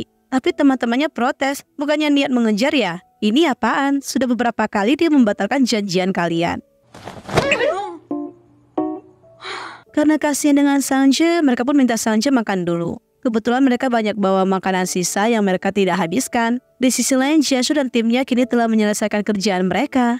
Dan proyek mereka berjalan sesuai rencana. Mereka kini bisa sedikit lebih lega menikmati hari-hari mereka. Meskipun kerjaan sudah beres, janjian mereka kembali batal lagi. Kali ini bukan karena kerjaan. Sangju sampai malas bertanya alasannya apa. Sangju benar-benar lemah lesu. Teman-temannya berusaha menghibur Sangju. Mereka pun berniat membawa Sangju jalan-jalan keluar. Tapi Sangju malas buat keluar. Teman-temannya menarik dia untuk pergi main saja daripada galau di kamar. Rupanya Jashu membatalkan janji mereka karena mendadak ada masalah dengan ayahnya. Jadi dia harus segera ke rumah sakit mengurus semua ini. Karena kondisi ayahnya yang semakin parah. Jashu jadi teringat dengan masa lalunya, di mana dulu keluarga Jashu itu sangat bahagia. Jashu juga termasuk salah satu murid yang berprestasi. Tapi kekacauan muncul ketika ayah dia kembali dan berkata dia menabrak orang. Hanya dia diam-diam kabur, dia tidak berani lapor polisi karena dia dalam pengaruh alkohol. Jashu merasa mereka harus lapor karena dia takut masalah akan semakin ribet. Menurut Jashu, orang itu pasti masih bisa diselamatkan. Jashu pun segera menelpon polisi. Ayahnya berusaha menahan tindakan Jashu. Karena dia gagal menahan Jashu, dia memilih lompat dari jendela. Karena kejadian ini, keluarga Jashu jadi kesulitan keuangan. Mereka harus bekerja keras membayar hutang-hutang mereka. Bahkan ibu Jashu terus-terusan lembur dan bekerja tanpa henti. Jashu pun meminta ibunya untuk istirahat dan makan. Mereka pun membahas soal hutang-hutang yang harus segera mereka lunasi. Ibunya berniat pinjam uang sama kerabatnya. Tapi Jashu meminta ibunya untuk tidak melakukan hal itu. Dia akan mengurus semuanya. Jashu pun berniat membatalkan kuliah dia di Nanwu. Karena dia tahu kondisi mereka tidak memungkinkan dirinya untuk ikut kuliah, ibunya dengan tegas menolak. Karena bekerja terus membuat kesehatan ibunya memburuk, ibunya pun harus dirawat di rumah sakit. Jashu pun dengan sepenuh hati merawat ibunya dan meminta ibunya tenang saja di rumah sakit ini. Tapi ibunya tahu kalau biaya rumah sakit tidaklah murah, mereka sampai harus berhutang lagi. Ibunya meminta segera pulang, tapi Jashu merasa ibunya harus mendapatkan perawatan. Ibunya pun memohon pada Jashu, dia tahu kalau hutang mereka sangat banyak, apalagi mereka harus merawat Jiang Ying. Dia khawatir ketika dia mati nanti, hutang mereka belum lunas. Itulah beban yang harus ditanggung menanggung keluarga Jiashu selama ini. Semua ini terjadi karena ulah ayahnya. Selanjutnya Tera Jiashu menghubungi Sangje. Teman-temannya mendengar percakapan mereka. Jiashu berniat menemui Sangje sekarang juga. Teman-temannya pun dengan cepat membuat Sangje bersiap-siap mereka pun langsung auto mendorong Sangje. Sangje akhirnya bertemu Jiashu. Jiashu bertanya kegiatan Sangje. Sangje sedikit menyindir Jiashu. Ah, Jasu pun terdiam sejenak dan merasa tidak enak hati. Dia meminta maaf karena kegiatan dia terlalu padat. Sangji pun penasaran, tapi Jasu tidak menjelaskan secara detail. Jasu tidak menyangka Sangji begitu menunggu dirinya untuk menghubungi dia. Sangji tidak mempermasalahkan kesibukan Jasu. Dia hanya merasa Jasu akhir-akhir ini kurang senang. Jasu tidak jujur dan berusaha menyembunyikan masalahnya. Oh, 一个。Sanje pun pergi ke tukang gulali dan membuatkan Jashu sebuah gulali. Karena menurut dia ketika dia tidak senang, dia akan menjadi senang saat memakan makanan manis. Setelah itu mereka berjalan kembali. Jashu penasaran Sanje pernah buat untuk siapa saja sih? Sanje berkata ini yang pertama kalinya loh. Jashu pun paham. Dia dengan pede berkata kalau Sanje sudah menyetujui dirinya untuk menjadi seorang pacar. Sanjo berkata, emang kapan aku setuju? Jasu merasa itu sudah terlihat karena kamu sudah menggunakan gelang pemberianku. Sanjo merasa kalau Jasu ini sengaja menjebak dirinya.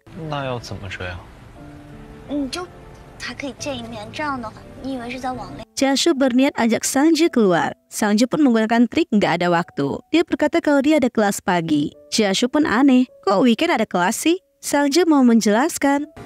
但是 tapi dipotong terus sama Jiashu. Jiashu pun berkata, ya udah deh, mau tidak mau hakku hanya bisa lembur saja di kantor. Keesokan paginya, Sangja dan Roland sudah berada di kelas tambahan. Roland menyadari ada Jiashu muncul.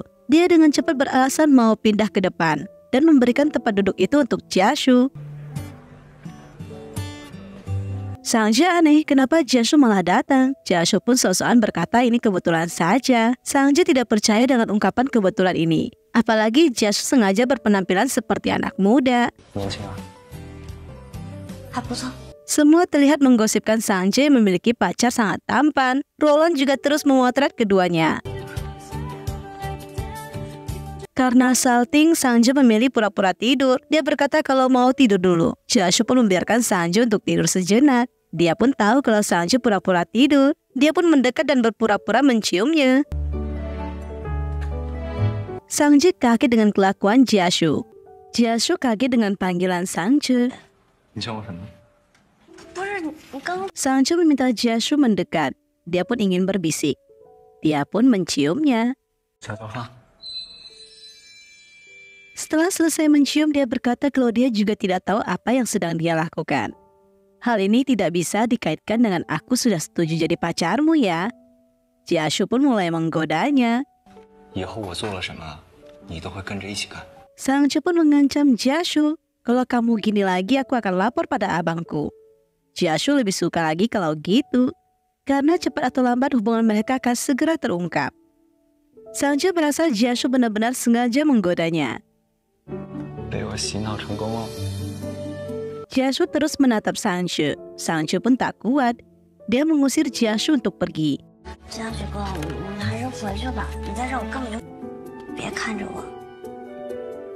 Tapi senior yang mengajar pun muncul. Sancho tidak bisa mengusir Jiasu pergi lagi, deh. Selanjutnya terlihat Sancho dan Jiasu berjalan berdua setelah mengikuti kelas. Mereka mendengar kehebohan di lapangan. Jiasu pun mengajak Sancho pergi lihat-lihat. Jiang Ming dan kawan-kawannya sedang melakukan tanding basket. Tapi kaki Jiang Ming terkilir karena kurang orang mereka meminta Jia Shu untuk menggantikannya. Sang Jo pun bertanya, emang kamu bisa main? Jia Shu pun memilih untuk join. Mereka dibuat kaget, rupanya Jia Shu sangat pandai bermain basket. Bahkan sangat mahir. Teman-teman Sanji merasa Sanji itu sangat beruntung Udahlah gebetannya itu sangat tampan, jago basket lagi. Sanji juga dibuat kaget rupanya Jiashu sangat hebat bermain basket. Jiang Ming juga cukup patah hati karena dia tahu kalau Jiashu bukanlah kerabat Sangju, melainkan gebetan Sangju. Scene selanjutnya adalah pembicaraan para ciwi-ciwi di mana mereka berencana untuk tidak pulang saat liburan musim panas ini. Semuanya sudah punya planning masing-masing. Sangji juga berencana untuk tidak pulang. Dia bingung harus alasan apa ke orang tuanya. Dia pun mencoba diskusi dengan abangnya. Tapi you know lah ya, abangnya memang tidak pernah merespon dengan serius. Selalu aja ajak dia berdebat. Sangje sampai memohon dan melakukan pertukaran hal yang menguntungkan bagi abangnya. Sang Yen pun mengirimkan voice note. Sang Yen tidak setuju kalau Sangje tidak pulang. Dia mengira Sangje mau pacaran. Sangje pun membalas voice note itu. Dia berkata, 对象是比你年龄大， lagian aku serius mau magang, bukan mau pacaran. 你你不能因为你自己大学没谈恋爱，现在 Sang Yen tetap tak setuju. Jika Sangje tidak pulang, dia akan terbang ke Yihe untuk menyeretnya kembali. Sangje frustasi karena abangnya begitu tak bisa diajak kompromi. 你真的很烦。 Di sisi lain Roland menghampiri Jiang Ming. Dia tahu Jiang Ming pasti lagi galau. Karena patah hati setelah mengetahui Sangje sudah punya gebetan. Roland pun mencoba menghiburnya. Ning Wei dan Yushin melihat pemandangan itu. Mereka yakin Roland ini pasti ada sesuatu dengan Jiang Ming. Mereka sih selalu support friend banget. Selanjutnya terlihat Jiashu sedang berada di kantor. Dia mengirim pesan pada Sangche. Sangche berkata dia ada urusan. Jiashu pun agak kecewa sedikit.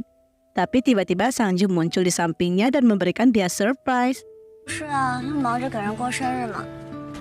Sangju selalu dibuat speechless oleh ucapan Jiashu. Jiashu merasa dia memang harus ekstra effort karena mengejar cewek yang aneh seperti Sangju. Keduanya pun bersiap untuk pergi makan. Sangja penasaran apakah mereka abangnya ada ucapan happy birthday buat dia ya. Jiashu merasa utah mereka sendiri aja mereka lupa, apalagi utah orang lain. Sangja dengan cepat mengirim pesan pada abangnya. Jiashu pun kepo Sangja kirim pesan sama siapa. Sangja berkata kalau dia chatan sama seniornya. Sangja berkata juga dia sudah punya pacar kok. Tidak lama Jiashu mendapatkan panggilan dari Sangin. Sangin pun mengucapkan happy birthday. Dia juga dengan pede mengakui kalau hadiah dari Sangja adalah hadiah dari dirinya. Dia bertanya soal pacar Sangje. Jiashu bingung dong, tapi dia tetap ikutin alur pembicaraan Sangin. Sangin bercerita kalau Sangje pacaran dengan pria pasca sarjana. Dan dia cinta mati sama cowok itu. Bahkan liburan kali ini, dia memilih untuk tidak pulang. Mendengar pembahasan abangnya makin jauh, Sangju pun dengan segera menghentikannya. Abangnya kaget kenapa mereka berdua barengnya. Dia mengira kalau keduanya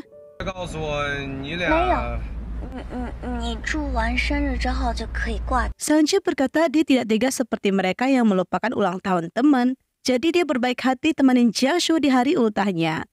Sang Yan pun mengakhiri teleponnya dan memperingati adiknya jangan pulang malam. Jiashu mulai melakukan wawancara Sangju pun bingung harus jawab gimana. Tapi Sangju sudah terpojokan. Jashu meminta Sangju jujur pada abangnya kalau dia sudah putus sama pacar pasca sarjananya dan pacaran dengan dirinya. Sangju pun tak mau karena dia merasa dia belum menyetujui Jashu. Jashu bertanya, emang kamu tidak ada perasaan itu ke aku? Sangju pun aneh kenapa Jashu begitu kepedean. Apakah dia sudah tahu ya? Jashu pun pura-pura bego deh. Jashu bertanya lagi. Sangju mengaku kalau dia ada perasaan sedikit lah sama Jashu. Respon Jashu pun B aja, membuat Sangju agak kebingungan. Kamu tak takut ya kalau aku tidak akan memberimu jawaban dalam waktu yang dekat ini? Jashu tak takut. Dia hanya minta Sangju untuk siap-siap saja kalau dia akan mengejar Sangju setiap hari. 天都等着我去追你。 Jiashu pun berhasil membuat hati Sangju semakin kelepek-kelepek. Keduanya sudah tiba di tempat makan. Sangju memberikan surprise tipis-tipis pada Jiashu. Jiashu dibuat kaget dengan persiapan Sangju. Sangju juga meminta Jiashu untuk menunggu. Dia pergi ke dapur dan berniat menyiapkan makanan ulang tahun untuk Jiashu. Jiashu pun ke dapur dan memotretnya. Dia pun menghampiri Sangju. Sangju pun dengan cepat mengusirnya dan meminta dia tunggu di luar saja. Makanan pun sudah selesai dibuat. Dia menyerahkan makanan itu pada Jiashu. Dia meminta Jiashu untuk foto saja, jangan dimakan. Karena dia tidak mencoba makanan itu. Tapi Jiashu awalnya ingin pura-pura foto. Dan dia pun memasukkan mie itu dalam mulutnya. Dia merasa mie ini untuk dia, jadi tidak boleh dia sia-siakan. Lagian rasanya enak kok. Sangju pun menghidupkan lilin. Dia meminta Jiasu membuat dua permohonan. Tapi Jiasu merasa permohonan dia hanya satu, supaya bisa diwujudkan. Sangju bertanya, apa permohonan Jiasu? Jiasu berkata, kamu sudah tahu. Sangju merasa permohonan Jiasu sangatlah gampang diwujudkan. Dia pun berkata kalau dia sudah menerima Jiasu. Jiasu kaget dan bahagia.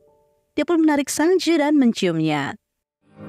藏在时光的爱。 Dia berkata kalau dia tidak ada pengalaman. Ini pertama kalinya aku pacaran. Pertama kali juga dia begitu menyukai seseorang. Dia tidak mengizinkan Sangju mencampakkannya. Keduanya pun terlihat bersantai menikmati pemandangan. 你干嘛一直看着我？ Jashu bertanya alasan Sangju begitu cepat menerimanya. Sangju merasa ini adalah hari yang spesial untuk keduanya. 第一是因为 Jesu pun menceritakan soal kondisi keluarganya dan ekonominya. Dia minta Sanju untuk tidak kaget dan keberatan. Sanju tak masalah. Dia malah takut jika Jesu menceritakan ini, Jesu akan merasa sedih. Jesu tidak sedih sama sekali. Dia malah takut Sanju yang akan keberatan. Sanju justru tak keberatan. Dia malah semakin ingin bersama Jesu. Keesokannya asrama Sanju padam lampu membuat dia tidak bisa belajar. Jiasu pun mau ajak dia keluar, tapi Sangju berkata dia mau ke perpustakaan. Eh rupanya Jiasu sudah menunggunya. Dia tahu Sangju kepanasan karena padam lampu. Dia pun meminta Sangju ke rumahnya. Sangju awalnya ragu. Keduanya pun berjalan menuju rumah Jiasu. Jiasu mempersilahkan Sangju untuk belajar di kamarnya. Sangju awalnya tidak mau, tapi Jiasu menariknya masuk. Tidak lama Jiasu berkata dia mau duduk memperhatikan Sangju saja. Sangju pun sengaja mendekat pada Jiasu. Sangju memperlihatkan seluruh sudut mukanya. Dia merasa Jiasu sudah cukup melihatnya, dan dia meminta Jiasu untuk segera keluar. Jiasu tak tahan untuk tidak menggoda Sangju. Sangju merasa jika Jiasu terus seperti ini, dia tidak akan konsen belajar. Jiasu pun akhirnya tak ganggu Sangju lagi. 狠心的女朋友。 Dia meminta Sangju fokus belajar. Dan dia akan menyiapkan makanan untuk pacarnya yang lagi belajar ini. 怎么感觉也是在照顾小朋友一看我样？家小朋友 Keduanya menikmati makanan mereka. Jiasu merasa Sangju sangat beruntung bisa makan masakan dia. Karena tidak semua orang bisa merasakan itu. Dan ini pertama kalinya Jiasu masak untuk orang lain. Setelah selesai masak, Sangju pun mencuci piring. Jiasu menemaninya. 还会做家务，要不我来做？ Jiashu merasa Sangje tidak perlu mahir dalam segala hal kok, kan ada aku. Tapi Sangje merasa ke depannya tidak boleh terus-terusan Jiashu yang melakukannya. Kata-kata yang dilontarkannya cukup memiliki makna yang jauh ya, Shai. Jiashu menyarankan Sangje untuk bersantai dulu setelah ini. Jika ngantuk, kamu tidur saja. Sangje merasa dia tetap mau kembali belajar karena dia mau mendapatkan beasiswa. Jiashu membebaskan Sangje. Tapi ketika Sanji kembali belajar, dia tiba-tiba merasakan ngantuk yang berat. Dia berusaha berbagai cara supaya tidak ngantuk. Sampai dia coba duduk di atas kasur, rasa ingin berbaring ini begitu kuat. Dia berniat memejamkan matanya sejenak. Dia melihat boneka beruang itu, setelah itu dia pun tertidur. Tapi dia dibuat kaget karena Jiasu tiba-tiba mau masuk ke kamar. Jiasu aneh apa yang dilakukan Sanji. 这比较刺激吗？不容易犯困。 Mendengar ucapan Sangje, Jashu menariknya dan mendekatinya, bahkan mau menciumnya. Sangje pun dengan segera menahannya. Sangje merasa Jashu mau melakukan hal buruk padanya. 都在一起了，怎么能叫手？ Tidak lama, Jashu meminta Sangje untuk jujur. Kenapa tadi bisa berada di bawah? Sangje pun mengaku, dia sengaja tidak memberitahukan Jashu. Dia takut jika Jashu berpikir kalau dia sengaja mengabaikan dirinya dan berusaha mengalihkan mau belajar. Jashu tidaklah berpikiran sempit. Jashu minta Sangje untuk tidur. Nanti aku akan membangunkanmu. Sangje tiba-tiba menggenggam tangan Jashu. Dia berkata sebenarnya dia senang kalau Jashu berada di dekatnya. Tapi dia tidak tahu kenapa dirinya selalu merasa gugup parah saat Jashu mendekat padanya. Dia tidak mau Jashu terlalu agresif padanya juga. Jashu pun paham dan tersenyum. Dia meminta Sanjo untuk segera tidur saja. Keduanya pun terlihat berjalan. Jasu mengantar Sanjo kembali. Oh, Di sini Jasu minta izin untuk menggandeng tangan Sanjo. Sanjo tentu saja memperbolehkannya. Sanjo merasa biasa orang mau gandeng tidak ada yang seperti dirimu yang minta izin duluan. Jasu takut Sanjo tidak senang. Karena dia mau mencium Sanjo tanpa bertanya tadi, Sanjo memasang ekspresi yang kurang senang. Sangjo berkata, bukan tidak senang, tapi aku gugup. Sangjo pun mengungkapkan perasaannya pada Jiasu. Jiasu sangat bahagia. Dia pun membalas kata-kata Sangjo dan mengungkapkan apa yang dia rasakan juga. Scene ini memperlihatkan Jiasu dan Xianfei telepon. Xianfei mendapatkan kabar gembira kalau Jiasu sudah berhasil mendapatkan wanita itu Chen Fei tentu saja minta imbalan. Dalam hal Jashu membuat pengakuan kalau Chen Fei juga mengenal orang itu. Jashu hanya memberikan sedikit kode, Chen Fei langsung tahu siapa orangnya. Mengetahui hal itu, Chen Fei langsung tarik tangan dan tak mau ikutan. Dia minta Jashu untuk tidak menarik dia di situasi ini. Dia pun bertanya, kamu sudah berbicara pada Sang Yin belum? Syasul merasa hal ini lebih baik dia sampaikan secara langsung saja saat mereka bertemu nanti. Sang Yen pun menelpon. Sang Yen bertanya soal Jiaxu yang meminta tips dari Chen Fei. Pembahasan ini benar-benar membuat keduanya bingung gimana harus menjelaskannya pada Sang Yen. Jiaxu berkata dia akan menjelaskan secara langsung ketika dia kembali ke Nanwu. Dia meminta Jiaxu membawa Sang Sangji kembali juga. Chen Fei pun dengan cepat beralasan untuk mematikan telepon itu. Sang Jo terlihat kembali ke kamarnya. Dia melihat Ning Wei asik baca novel saja, tidak fokus menyelesaikan skripsinya. Ning Wei tiba-tiba membahas soal Sang Jo yang pergi belajar saat padam lampu. Sang Jo pun mengaku kalau dia tidak pergi ke perpus, tapi ke rumah Jia Shu. Ning Wei pun penasaran. Tapi Sang Jo curhat dan bertanya apakah kau gugup saat di dekat pacarmu Ningwei merasa harusnya pacarku yang gugup. Aku mah biasa aja. Tapi lama-kelamaan pacarku sudah tidak gugup lagi kok. Sangju berkata dia terlalu gugup kalau di dekat Jiashu. Dia kalau gugup seperti terkesan tidak suka. Ningwei pun aneh. Perasaan kamu bukan tipe yang pemalu banget lah. Apakah kamu takut jika Jiashu tahu kalau kamu sudah lama menyukai dirinya? Ningwei pun minta Sangju menikmati setiap prosesnya saja, termasuk kontak fisik. Sangju pun jadi teringat kenangan-kenangan dia dan dia jadi tersenyum.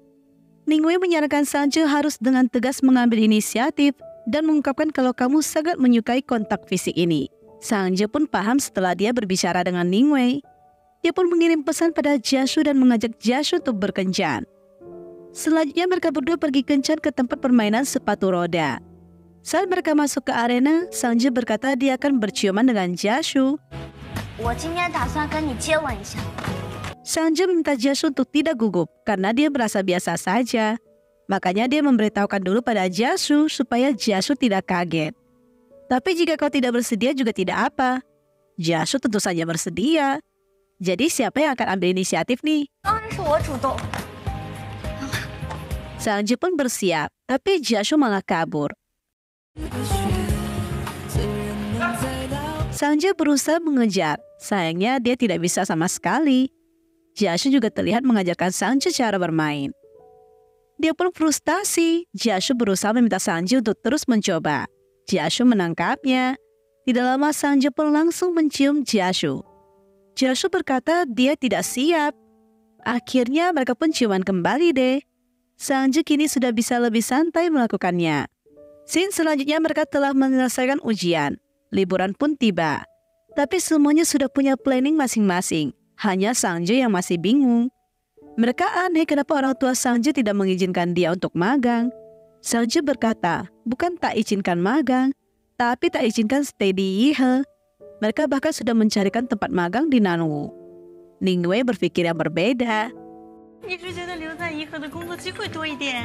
Tidak lama Sangju menerima panggilan. Rupanya dia berhasil lolos wawancara. Sangje bahagia kini dia punya alasan untuk stay di Yehe. Selanjutnya dia bersiap dengan rapi untuk magang di hari pertamanya. Tapi sebelum itu dia mendapatkan panggilan dari abangnya. Tapi sebelum itu dia mendapatkan panggilan dari abangnya, di mana Sang Hyun bertanya soal tiket kepulangannya. Tapi Sang Je berkata kalau dia tidak pulang karena dia harus magang. Ayah dan ibu pun sudah setuju kok. Mendengar hal itu, Sang Hyun menjawabnya dengan nada yang tinggi.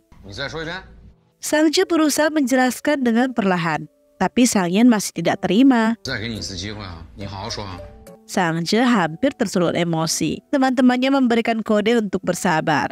Sang Sangja pun pelan-pelan menjelaskan lagi. Tapi karena Sang Yan masih tak setuju, dia pun menjawab Sang Sangja dengan nada yang cukup kesal. Dan dia pun tak akan mengurus adiknya lagi. Mau ditipu kek, dia sudah tidak peduli. Dia membebaskan adiknya. Intinya dia kesal banget. Posesif sih, tapi sebenarnya Sangyin itu begitu sayang loh pada Sangje. Teman-temannya merasa hal ini akan lebih gawat ketika Sangyin tahu kalau Sangje berpacaran dengan Chiashu. Sangje pun akhirnya mau buat pengakuan. Dia mengirim pesan. Sayangnya dia sudah diblokir sama abangnya. Sangje pun tiba di tempat magangnya. Dia diperkenalkan dengan beberapa rekan. Dia bertemu dengan seorang wanita yang akan menjadi atasannya. Wanita itu bernama Xiaoyu. Rupanya Xiaoyu ini mengingat Sangje. Karena pada saat Sangje dan Jiang Yi berdebat, dia berada di sana. Dia adalah sohibnya Jiang Yi. Xiaoyu terlihat tidak menyukai Sangje. Saat Sangje mau menyapa Xiaoyu lagi, Xiaoyu tiba-tiba memberikan dia tugas. Sangje tidak memiliki pengalaman mencoba melakukan perintah Xiaoyu. Tapi dia malah kena ceramahan lagi deh. Sangje harus ekstra sabar ya. Sangje sudah bekerja semalaman. Dia pun beristirahat sejenak. Dia mencoba kirim pesan di grup keluarga. Namun abangnya mengabaikan dirinya. Sangyen pun kena omel bapaknya deh. Ayah dan ibunya bertanya bagaimana perasaan Sangje saat magang. Sangje tidak berkata jujur dan merasa dia sangat senang melakukan magangnya. Jasu juga terlihat datang menjemputnya. Jasu pun membawakannya bunga sebagai tanda selamat karena Sangje sudah mulai magang. Keduanya pun pergi makan. Jasu mulai memberikan beberapa pertanyaan. Sangje merasa Jasu itu begitu bawel, sudah seperti ayahnya saja. Jasu memberikan hadiah kecil. Sangje menekan hadiah itu. Bagi dia muka boneka itu mirip dengan Sangyen. Jashu tahu jadi anak magang tidaklah gampang. Makanya dia memberikan boneka itu. Ketika dia tidak senang, dia bisa melampiaskannya pada boneka ini. Jika kau dibully, kau harus segera melaporkannya padaku ya. Tapi di sini Jashu menyadari kalau Sangje agak murung. Sangje bercerita kalau Sangyen memblokirnya karena dia tidak pulang ke Nanwu liburan kali ini. Sangje bingung harus gimana. Jashu juga menjelaskan kalau dia belum memberitahukan soal hubungan mereka kepada Sangyen. Jashu ingin berbicara secara langsung saja. Tunggu ada liburan lagi, kita sama-sama ke Nanwu. Aku akan menjelaskannya pada Sang Yen. Keesokannya Sang Jen terlihat begitu sibuk. Dia harus menyiapkan seluruh konsumsi untuk seniornya. Selain itu, Sang Jen juga diberikan banyak sekali kerjaan oleh Xiao Yu. Sang Jen, hmm. Shu menghubunginya dan bertanya apakah kau sudah makan. Sang Sangje berkata dia belum makan. Jasub mendengar Sang Sangje ditekur atasannya. Sang Sangje pun dengan segera mematikan teleponnya. Sangje sengaja dibuat lembur oleh Xiao Yu. Sangje tidak bisa menolak. Di sini terlihat Jashu juga sedang lembur, tapi dia mendapatkan kiriman makanan dari Sangje. Rekan-rekan Jashu pun mulai mengejeknya. Jashu menghubungi Sangje dan bertanya soal makanan ini. Dia juga bertanya kegiatan Sangje. Sangje berkata dia akan selesai dalam waktu dua jaman lagi lah. Keduanya pun bertemu setelah bekerja. Jashu tahu Sangje sedang benar-benar lelah Dia pun memberikan bahunya untuk bersandar. Sangje bertanya, apakah benar kamu baru pertama kali pacaran? Jashu bingung dengan pertanyaan Sangje.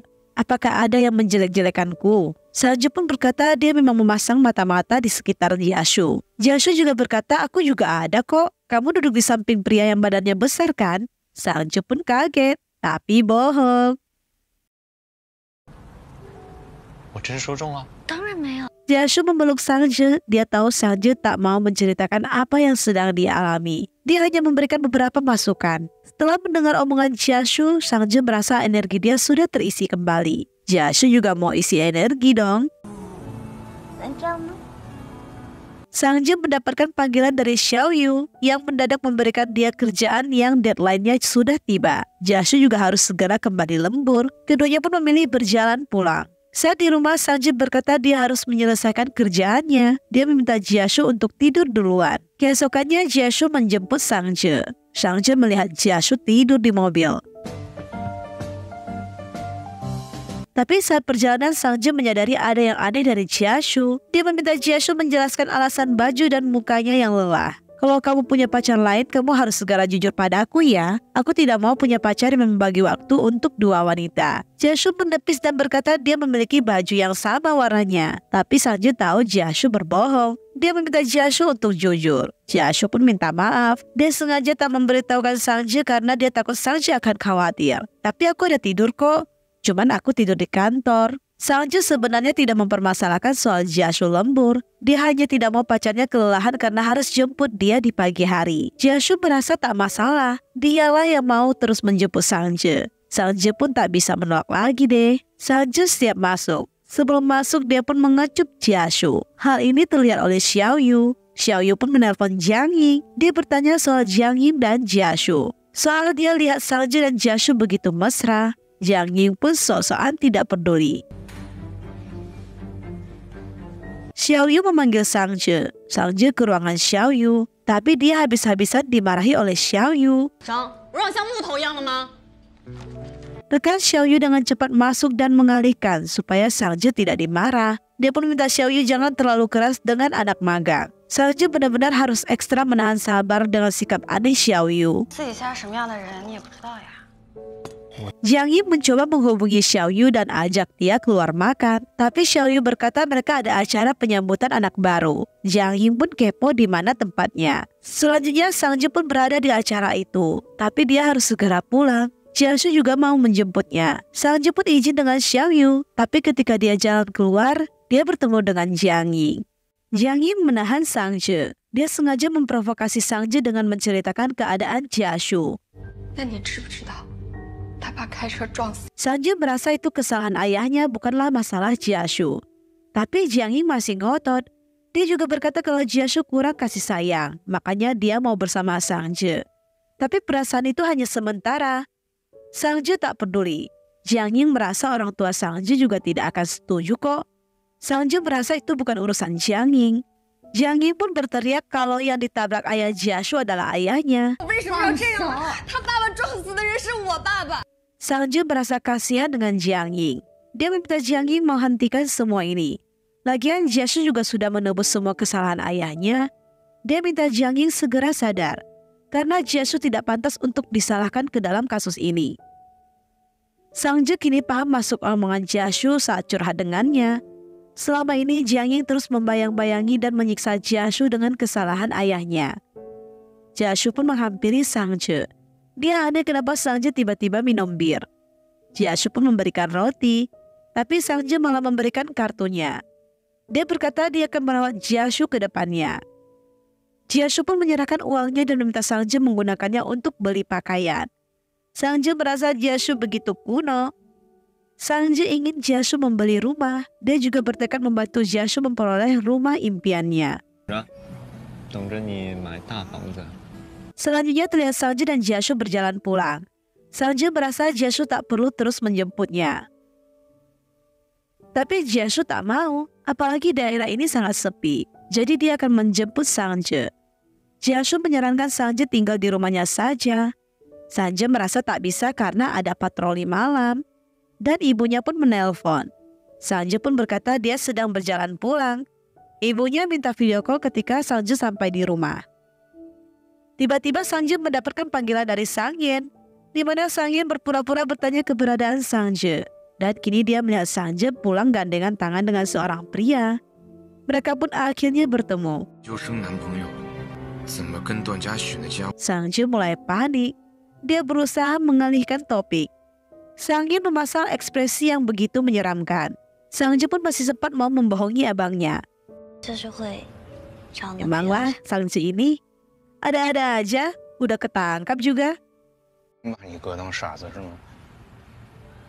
Jiasu hanya diam dan tersenyum. Mereka pun antar Sangju pulang. Sang menarik Sangju. Sangju berkata dia sudah berusaha menjelaskan, tapi karena kamu blokir aku, makanya pesan itu tak tersampaikan. Sang bertanya asrama Sangju. Sangju masih berusaha meredakan emosi abangnya. Dia juga minta maaf karena sudah bohong sama Sang Yen. Sang Je pun sudah tiba di asramanya. Abangnya minta dia segera masuk. Tapi Sang Je tak mau. Dia takut keduanya akan berantem. Sang Yen masih maksa Sang Je untuk segera masuk. Yashu pun memberikan sedikit pengertian. Sang Je harus nurut, tapi dia masih khawatir. Keduanya pun berjalan pergi. Sang Yen langsung memukul Jia Jiashu.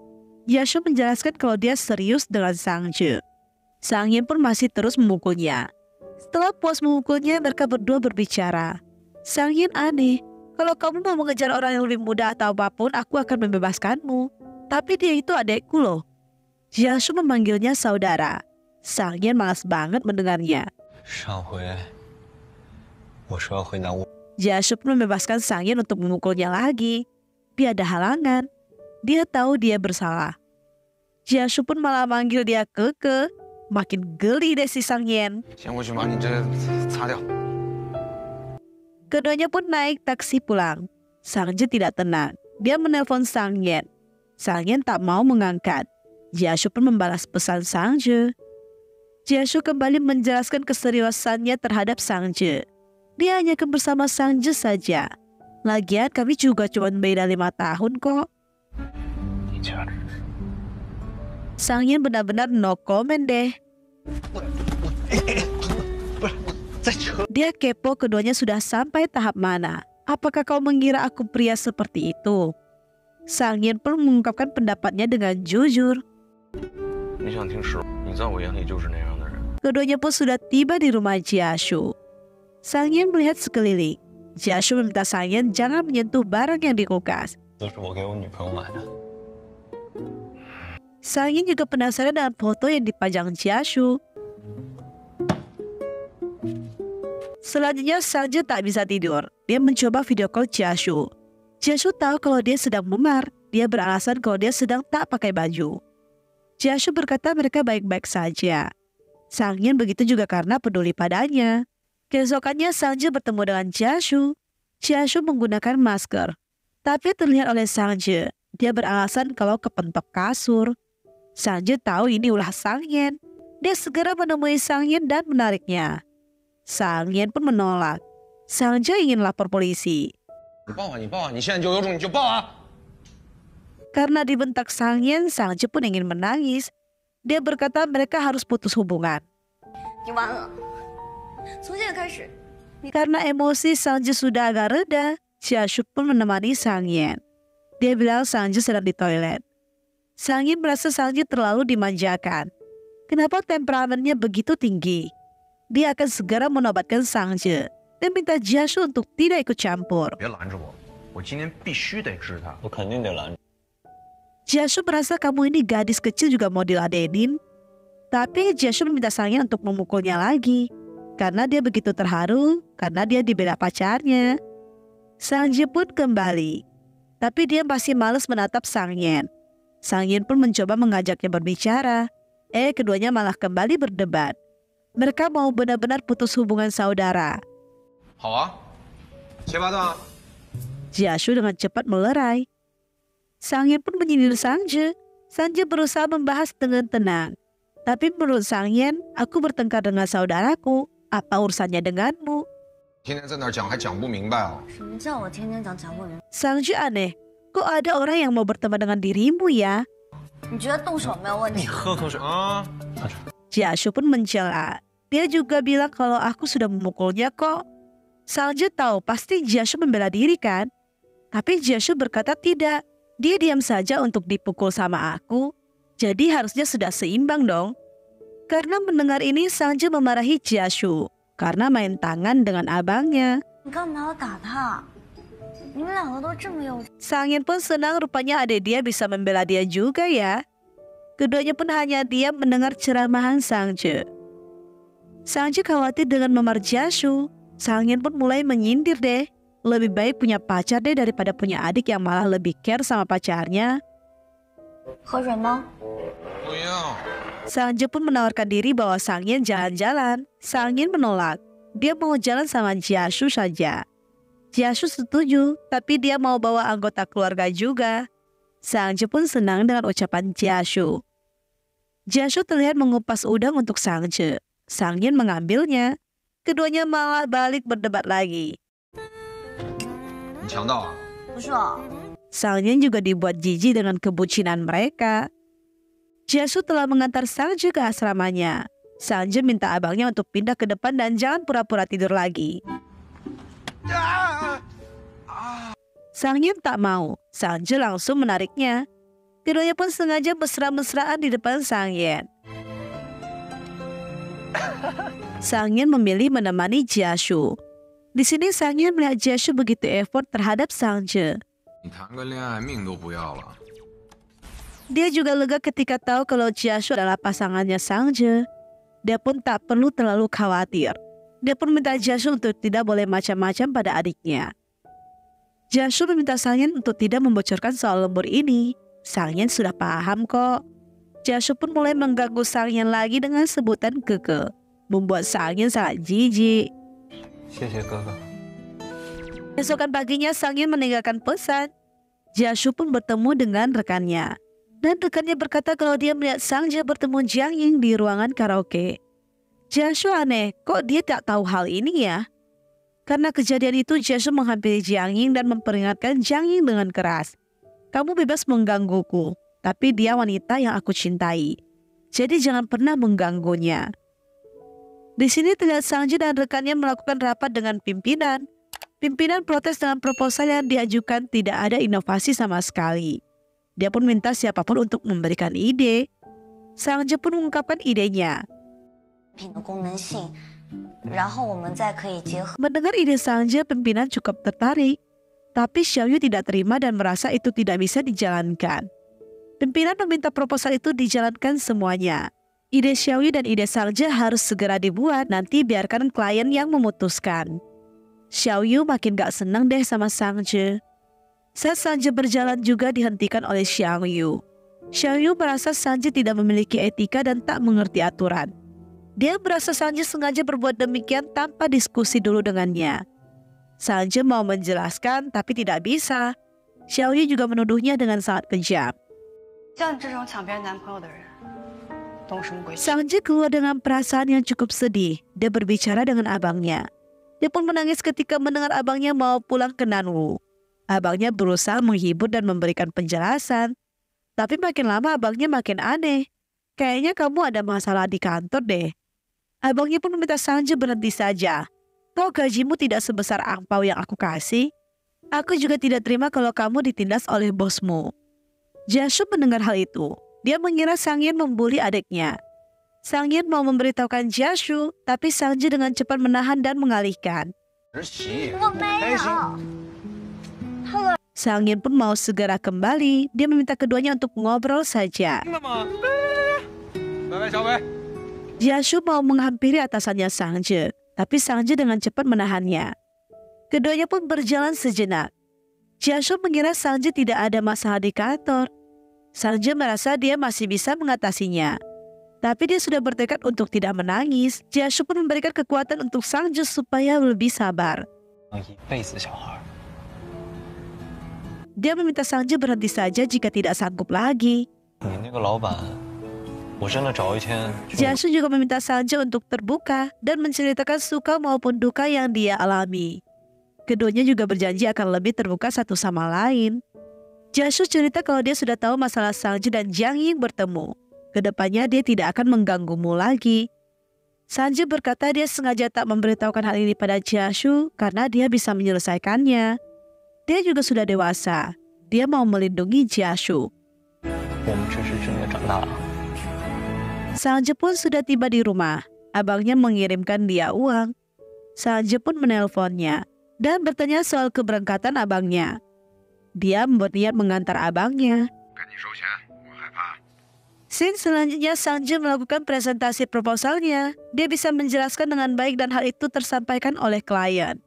Klien merasa puas dengan ide Sanji. Dan proyek ini pun berhasil. Karena hal ini Sanji mendapatkan pujian dari atasannya. Mereka pun mau mentraktir dua anak magang ini. Tapi Sanji berkata dia sudah ada janji. Rupanya Sanji menemani Jiashu melihat-lihat rumah. Jiashu kini menyewa rumah yang lebih dekat dari kampus Sanji. Dia pun menyerahkan kunci dan berkata kini rumah ini menjadi milik mereka berdua. Scene selanjutnya terlihat AC asrama Sanji bermasalah. Dia pun mulai kepanasan. Apalagi tukang AC perbaikan tidak bisa datang. Kebetulan Jiasu menelpon. Jiasu mendengar keadaan Sanji. Dia pun mau menjemput Sanji. Jiasu meminta Sanji sementara tinggal di rumahnya.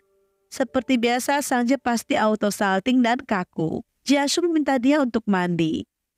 Setelah selesai mandi, dia kaget melihat Jashu menggunakan baju tidur. Jashu memanggilnya. Jashu meminta Sangja memainkan game yang dia buat. Jashu pun mengajarkan caranya. Keduanya begitu mesra. Tapi Sangja mau ambil cemilan.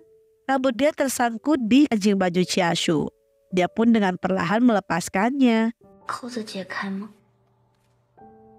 Hmm. Tapi suasananya membuat Jiasu tidak tahan untuk mencium Sangje. Keduanya pun berciuman dengan begitu romantis deh. Sanji dan Jashu pun tiba-tiba jadi salting, apalagi Sanji jadi bertingkah sangat aneh karena malu. Sebenarnya Jashu juga malu kok. Keesokannya saat terbangun, Jashu mendapatkan pesan dan beberapa tulisan tentang plan liburan Sangje. Keduanya pun sibuk mengerjakan pekerjaan masing-masing. Tapi mereka tidak lupa untuk terus care satu sama lain. Mulai dari memberikan makanan dan lain-lain. Sanji juga sudah bersiap menyelesaikan masa magangnya. Dia pun memberikan beberapa hadiah pada rekan kerjanya.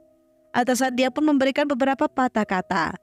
Dia yakin mereka akan selalu bersinar di mana pun mereka berada. Setelah itu Sangje menghampiri Xiao Yu.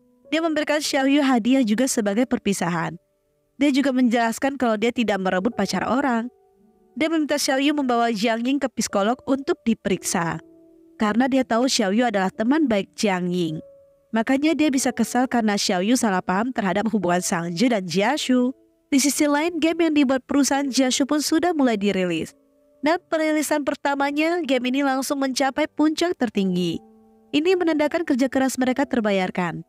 Seluruh karyawan merasa senang dan akan menikmati pesta perilisan yang sukses ini. Jiashu juga tiba-tiba mendapatkan tawaran untuk menjadi pemrograman utama di perusahaannya. Tentu saja hal ini membuat dia sangat senang. Dia sangat berterima kasih atas rekomendasi suami istri ini. Ketika pulang, Jeshu membahas rencana liburannya. Dia ingin membawa Sanji pergi liburan dan menginap di sebuah hotel. Bahkan pergi ke taman bermain. Tapi semua saran Jeshu ditolak sama Sanji.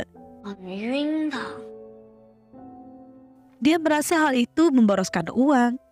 Jashu aneh kenapa semuanya tidak mau. Aku mau bawa kamu jalan-jalan ke tempat yang lebih indah. Aku gak mau kemah di tempat-tempat yang susah buat kamu mandi, bahkan digigit nyamuk. Tapi Sangji tidak keberatan. Dia sudah mempersiapkan semuanya. Dia bahkan sudah memplanningkan dari jauh-jauh hari. Dia sengaja memilih berkemah karena dia sudah membayangkan sensasinya.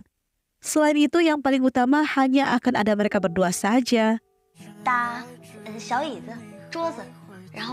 Mendengar ide Sangje, Jashu pun mulai tertarik. Dia menyetujui saran Sangje. Sangje jadi sangat excited. Dia sudah menyusun jam keberangkatan juga.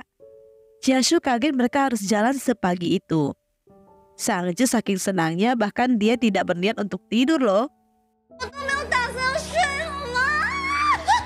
Sayangnya keesokannya hujan lebat malah turun. Hal ini membuat semangat Sangje auto drop. Tapi Jasu memiliki sebuah ide, di mana mereka membangun tenda dan merakit beberapa perlengkapan di rumah saja. Mereka pun memutuskan untuk berkemah dalam rumah. Tapi tiba-tiba ibu Sangje melakukan video call.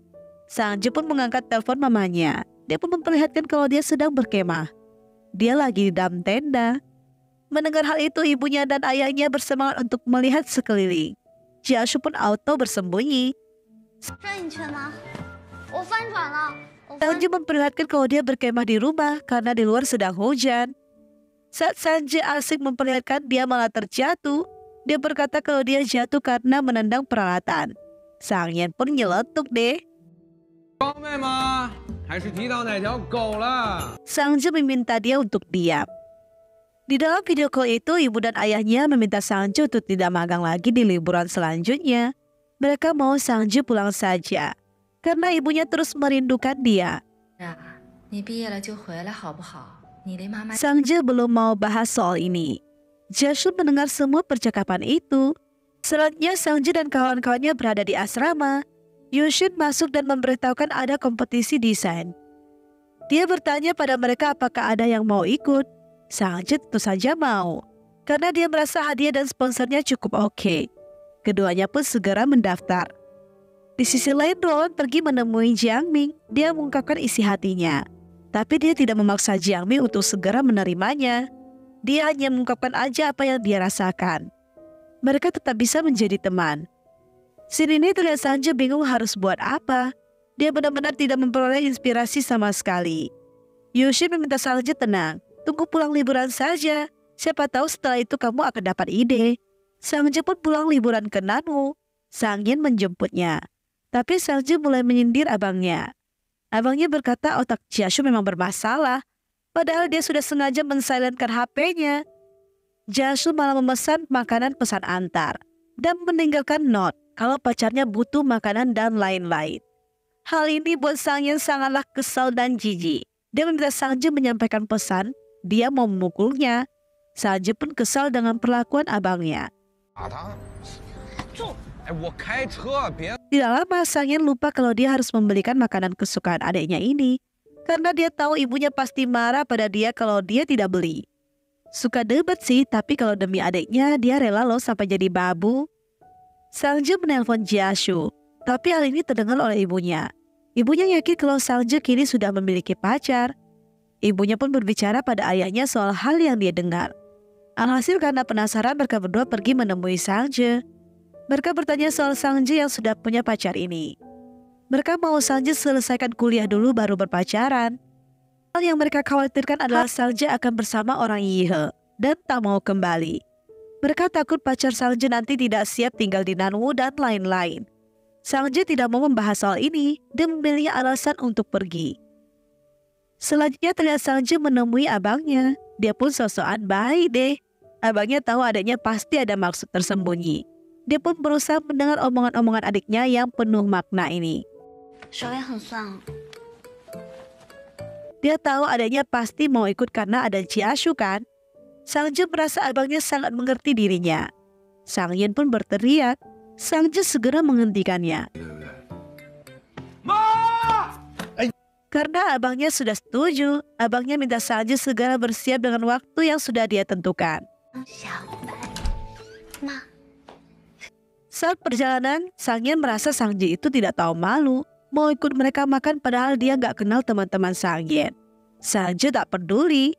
Sang Yen pun mulai teringat, pantas saja sebelum-sebelumnya kau sok-sokan mau bantu aku dan lain-lain saat kuliah ya.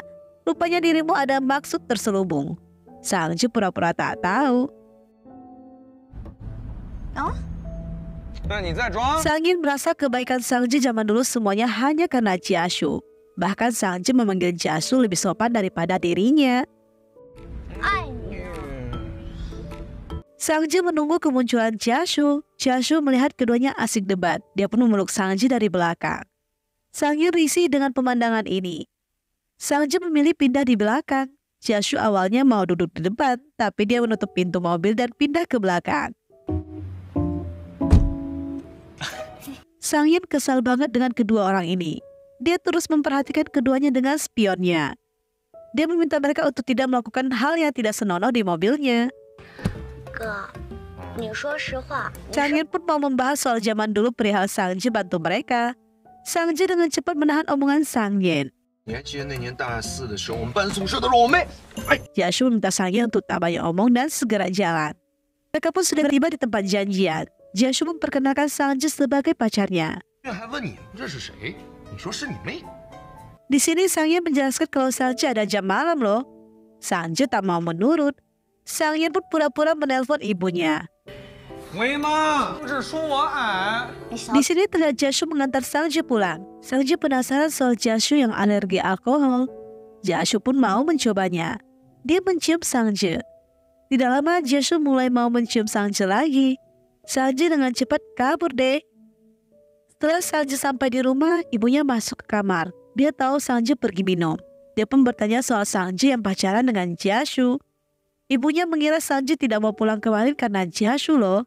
Sanju pun menjelaskan alasannya.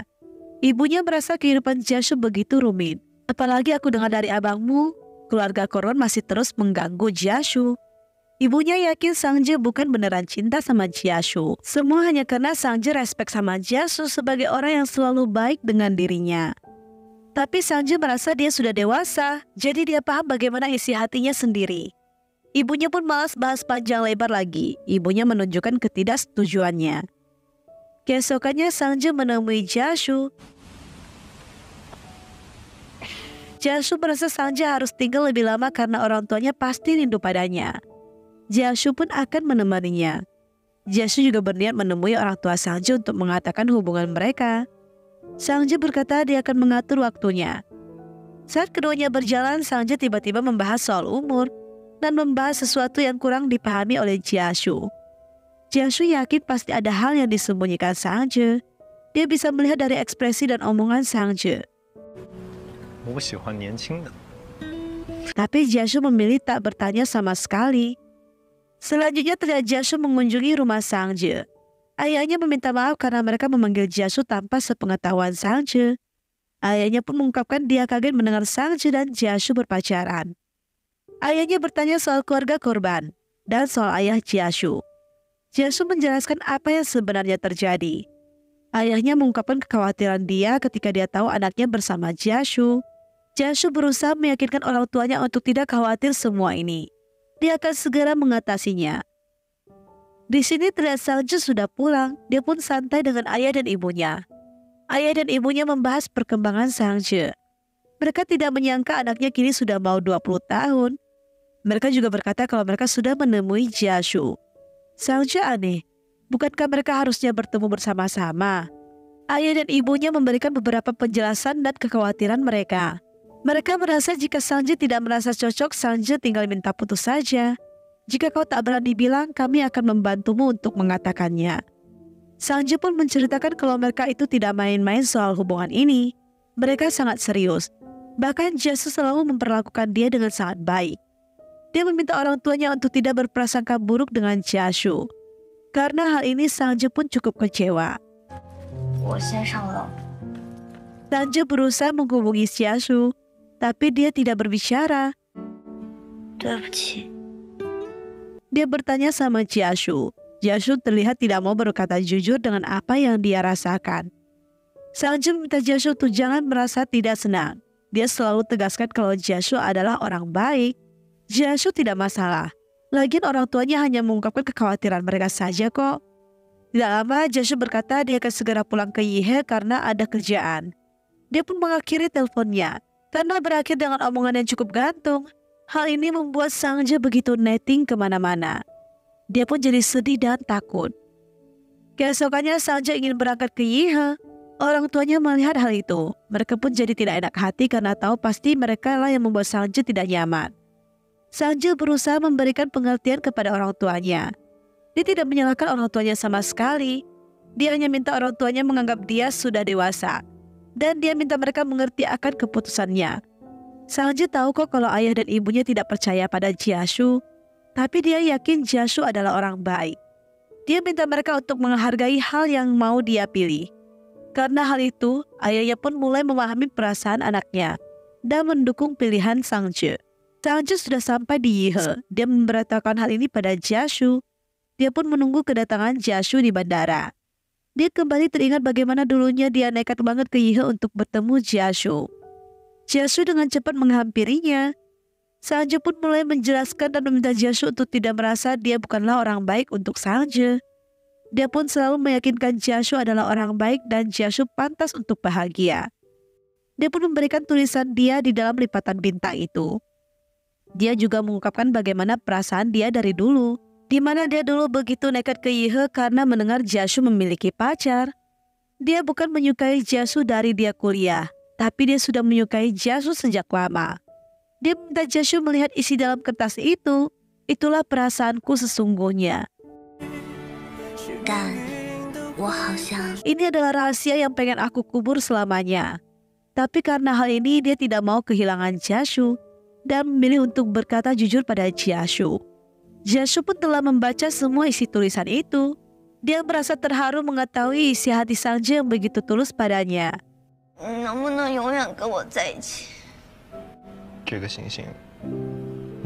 Dia merasa selama ini dia sudah membuat banyak sekali Sangje menangis. Dia pun sudah paham. Dia meminta Sangje memeluknya. Dia berkata kalau dia tidak memiliki pacar yang digosipkan Sangyen. Dia justru memiliki pacar sungguhan sekarang. Dia kaget Sangje kembali ke Yihe hanya mau menjelaskan hal ini. Sangje pun netting karena ucapan Jashu di telepon. Jashu kaget dan tertawa. Dia pun menjelaskan arti omongannya. Jika bukan karena orang tuamu keberatan, aku mungkin sudah menarikmu dan mendaftarkan pernikahan. Sangje merasa Jesu tidak perlu terus menuruti dirinya. Dia juga bisa kok pilih tinggal di Ihe. Tapi memang dari awal Jesunya yang tidak mau berada di kota ini. Sangje ingin ke depannya Jesu harus banyak komunikasi dengannya. Dan jangan terus-terusan mengalah pada dirinya. Ketika di rumah, Jesu kembali mengingat kenangan dulu Sangje yang patah hati. Dia pun dalam keadaan mabuk. Sangje keluar kamar dan menghampirinya. Dia takut Jashu dalam keadaan tidak senang. Jashu setengah mabuk mengungkapkan isi hatinya yang sebenarnya. Dia merasa selama ini dia tidak baik terhadap Sangje. Sangje malah merasa sebaliknya. Tapi Jashu merasa dia akan menebus semua kekurangan-kekurangan dia di zaman dulu dengan terus bersama dan menghabiskan waktu bersama Sangje. Itu pun keduanya ciuman deh. Dan ya gitulah, cinta satu malam pun terjadi. Keesokannya Jesu pergi menemui Siun dan suaminya. Dia mengungkapkan dia akan mengundurkan diri. Hal ini tentu saja membuat mereka terkejut. Tapi dia menjelaskan alasannya. Semua ini juga ada hubungannya sama Sangje. Karena orang tua Sangje keberatan dengan dirinya. Maka dari itu dia harus berbuat sebaik mungkin supaya orang tuanya tidak keberatan karena dia tidak mau Sanjit terus yang berkorban demi dirinya. Dia ingin melakukan sebaliknya. Siu dan suaminya memberikan sedikit ide. Mereka tahu ada fasilitas pengajuan di pusat untuk Jiashu bisa membangun studio sendiri di Nanwu. Mereka pun akan membantunya. Jiashu mendengar hal itu dan setuju. Dia merasa terbantu. Keputusan pun sudah ditentukan. Siu dan suaminya hanya bisa mendukung keputusan Jiashu. Jiashu mendapatkan panggilan dari rumah sakit. Mereka berkata kondisi ayahnya sudah susah untuk diselamatkan. Jashu pun masuk dan berbicara pada ayahnya. Dia membahas masa lalu dan mengungkapkan seluruh isi hatinya. Dia berkata dia telah melunasi seluruh hutang mereka. Dia menceritakan betapa menderitanya dia dan ibunya karena ulah ayahnya. Dia juga bersyukur karena kejadian ini. Dia mengerti arti tanggung jawab. Dan dia berhasil membuktikan dia adalah orang baik. Dia juga memaafkan ayahnya. Dia meminta ayahnya pergi menemui ibunya untuk minta maaf. dia juga sudah mengikhlaskan kepergian ayahnya. Tiba-tiba ayah Jiashu merespon yang menandakan dia mendengar semua ungkapan isi hati Jiashu. Setelah itu ayahnya pun pergi dengan tenang. Jiashu keluar menghampiri Sangje. Salju tahu Jasu sangat terpukul. Jasu pun menangis di pelukan Sangju. Dia merasa dia kini tidak memiliki orang tua sama sekali. Dia menangis terseduh-seduh. Selanjutnya terlihat Sangju dan Jasu mengunjungi makam ibu Jasu. Jasu memperkenalkan Sangju pada ibunya. Dia juga mengungkapkan kepergian ayahnya. Dia sudah menyiapkan tempat terbaik untuk ayahnya juga. Dia berharap ayah dan ibunya dapat bertemu di sana. Setelah itu Sanji pun menyapa dan memperkenalkan dirinya. Dia mengungkapkan pendapat dia terhadap Jiasu. Dia berkata kalau Jiasu tumbuh dengan menjadi orang baik. Jiasu juga orang yang sangat kompeten. Dia berjanji pada ibunya jika dia tidak akan pernah membiarkan Jiasu ditindas oleh siapa pun. Hal ini membuat Jiasu benar-benar terharu. Untuk saya. Dia pun minta Sangje menepati janjinya. Setelah sedih-sedih, akhirnya keduanya bisa melalui hari-hari mereka dengan bahagia. Jashu merasa hanya Sangje lah satu-satunya orang yang berhasil membawa dia keluar dari masa kelamnya ini. Dia benar-benar sangat beruntung memiliki Sangje di sampingnya. Ketika keduanya beristirahat, Jashu berkata dia sudah mengundurkan diri. Dalam waktu satu bulan ini dia akan segera ke Nanwu untuk menyiapkan segalanya. Jadi pas Sangje kembali, Sangje hanya perlu menikmatinya saja. Selain itu bagi Jiashu di mana pun ada Sangje, di situlah rumahku. Selanjutnya terlihat Jiashu membereskan beberapa barang-barangnya. Sangje menyiapkan makan malam untuk mereka. Tapi tiba-tiba Jiashu menghampirinya. Dia bertanya gimana kalau aku kangen sama kamu. Sangje ingin Jiashu memakan permen yang dia berikan. Tapi gimana kalau kamu kangen sama aku? Jasu pun minta salju menyimpan boneka beruang itu. Anggap saja aku yang menemani dirimu. Jasu tiba-tiba menggoda salju. Sama-sama. Tentu saja auto salting. Tapi karena Jasu begitu meminta, dia pun setuju deh. Aduh, bocil salju sudah makin dewasa, guys. Keesokannya Sanji dan Jasu sudah berada di bandara. Salju pun mengantar Jasu. Tapi dia terlihat begitu tidak rela berpisah dengan Jasu.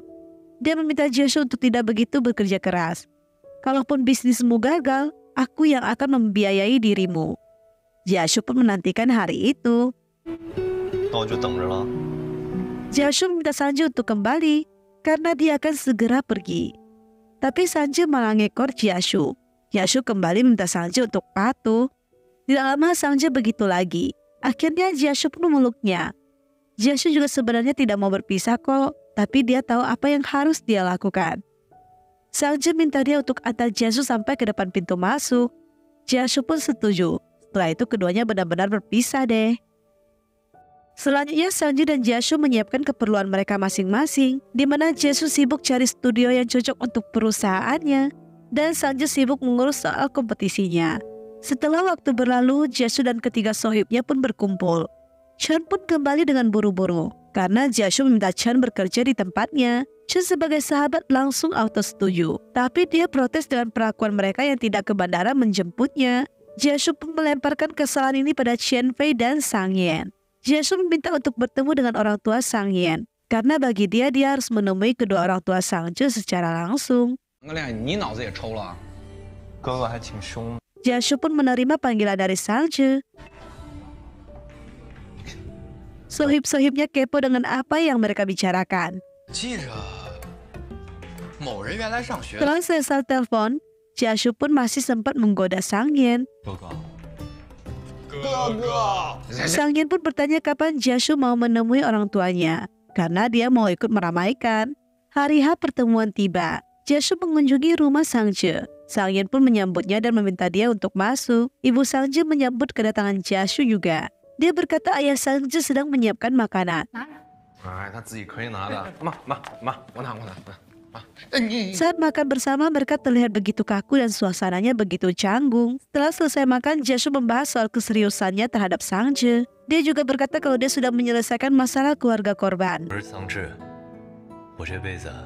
Dia memang tidak memiliki apa pun, tapi dia akan memberikan semuanya yang dia miliki untuk Sangje. Karena bagi dia, Sangje adalah penyelamatnya. Kalau tidak ada Sangju, keadaan dia tidak akan seperti sekarang. Ayah dan ibu Sangju tentu saja sudah mengerti. Mereka tidak mempermasalahkan hal yang lain. Mereka hanya mengutamakan kebahagiaan Sangju saja.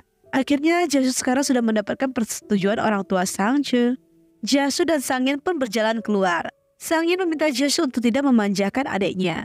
Nanti kau akan merasakan akibatnya. Tapi Jasu adalah sohib yang tahu diri. Dia pun berterima kasih kepada Sangin. Saat keduanya berjalan, Jasu jadi teringat dulu saat dia pertama kali bertemu Sangje, di mana Sangje memohon soal Jasu menjadi walinya dan ke sekolahan. Rupanya Jasu sudah memberitahukan hal ini pada Sangin. Dia menceritakan pada Sangin kalau adiknya ini dipanggil oleh orang tua ke sekolah. Pantas dia menahanmu untuk makan malam. Sangin tahu panggilan ini pasti karena hal sepele. Dia mau memberikan pelajaran pada adiknya dan tidak mau membantu adiknya. Jasu merasa dia sudah berjanji pada Sangje. Sangje tak peduli karena bukan aku yang berjanji. Nah, karena hal ini Jasu harus menjadi wali Sangje di sekolah. Jasu pun kembali ke rumah. Dia melakukan video call dengan Sangje. Dia berkata kalau dia pergi menemui orang tua Sangje dan kini mereka sudah tidak keberatan lagi. Mendengar hal ini, Sangje tentu saja bahagia. Sangju juga menceritakan kebahagiaannya, di mana karya dia menjadi salah satu karya mendapatkan penghargaan. Dia ingin Jasu datang, tapi Jasu berkata dia tidak bisa datang. Sangju pun mengerti kesibukan pacarnya. Dia meminta ke depannya kalau karya aku menang lagi, kamu harus datang ya. Keduanya pun berjanji. Selanjutnya hari penerimaan penghargaan tiba. Yushin aneh kenapa Jasu tak datang. Dia berkata kalau Jasu sibuk bekerja, makanya tak datang. Tapi tiba-tiba orang-orang membicarakan pria tampan dan ternyata itu adalah Jiashu. Jiashu memberikan surprise kepada Sangje. Jiashu pun membalas semua omongan Sangje menggunakan chat. Keduanya malah jadi cecetan. Sangje aneh kenapa kamu bilang tidak bisa datang. Rupanya dia memberikan surprise kepada Sangje. Jiashu berkata dia tidak mungkin lupa dong karena itu adalah wallpaper dia. Keduanya pun saling menggoda. Hal ini membuat Yushin yang berada di sekitar mereka dua agak risih jadinya. Yushin pun menggosipkan keduanya di grup chat mereka. Karena hal ini, Sangji dan Jasu pilih pindah ke belakang. Setelah keduanya pindah, Jasu memperlihatkan dasi yang dia pakai. Sangji pun membantu Jasu merapikannya. Tapi Jasu mendadak menciumnya. Setelah selesai melakukannya, eh dia malah play victim.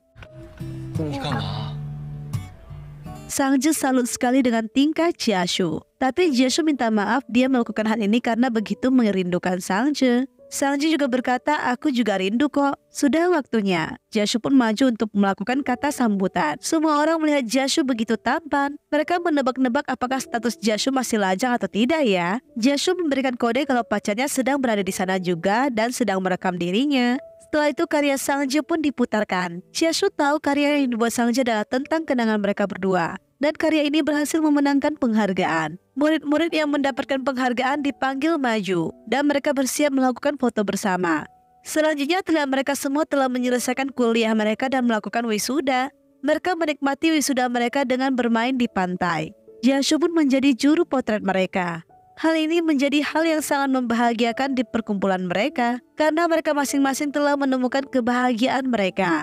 Tidak lama Sangji memberikan kode kalau riasan Ningwei memudar. Dia pun meminta Ningwei untuk melakukan touch up. Saat Ningwei pergi, Sangji mengatur kawan-kawannya untuk menyiapkan sebuah surprise untuk lamaran Ningwei. Dia pun mengarahkan semuanya. Mereka dengan penuh effort membuat lingkaran dan love serta ditaburkan bunga mawar. Ningwei pun dibawa keluar dan dia tidak diizinkan membuka matanya. Sangja menuntun Ningwei untuk masuk ke dalam love yang sudah disediakan. Rupanya surprise ini dibuat bukanlah untuk Ningwei, melainkan untuk dirinya. Sangja kaget banget orang tua dia juga datang kemari. Jashu pun mengungkapkan isi hatinya. Dulu dia sampai takut menikah dan memutuskan untuk hidup seorang diri. Sampai dia bertemu dengan sosok Sangja, pemikiran dia pun berubah. Karena itulah dia berharap Sangje bisa menjadi pasangan hidup dia selamanya. Dia pun melamar Sangje. Sangje terharu banget. Dia pun menerima lamaran Jiashu. Keduanya pun berpelukan dan kissing di hadapan semuanya. Setelah selesai, Sangje dan Jiashu berjalan. Jiashu berkata dia sebenarnya sudah diam-diam menyukai Sangje sebelum dia mengungkapkan isi hatinya. Dia berkata dia sudah menyukai Sangje sejak salju pertama turun di. Sangja merasa kisah mereka dimulai semenjak Jashu berumur 22 tahun dan berakhir di umur dia yang menginjak usia 22 tahun juga. Bagi Sangje, Jiashu adalah orang yang memenuhi cinta pertamanya. Dan sejak saat itu dia hanya menuju ke arah Jiashu saja dan tak memandang siapa pun lagi. Selanjutnya terlihat Sangje naik ke atas. Dia jadi teringat saat pertama kali dia bertemu dengan Jiashu. Jiashu bertanya soal bintang yang masih disimpan oleh Sangje. Sangje pun membukanya dan memperlihatkan tulisan itu. Di mana isinya adalah impian Sangje yang berniat kuliah di Yihe supaya bisa mengejar Jiashu. Kisah ini diakhiri dengan kissing yang romantis. Ingat guys, cinta tak memandang umur. Ketika kamu sudah menetapkan cinta sejatimu adalah dia, kau harus bisa menerima masa lalunya, masa sekarangnya, dan masa yang akan datang. Begitulah gambaran cerita kisah cinta romantis Sangju dan Jiashu. Happy ending! Oke gengs, itu dia part terakhir dari drama ini ya. Kita harus segera berpisah dari pasangan Sangju dan Jiashu nih. Jangan lupa untuk terus ikutin review drama selanjutnya ya. Jika kalian menyukai video ini, jangan lupa untuk like, comment, dan share ke teman-teman kalian ya. See you in the next video. Bye-bye.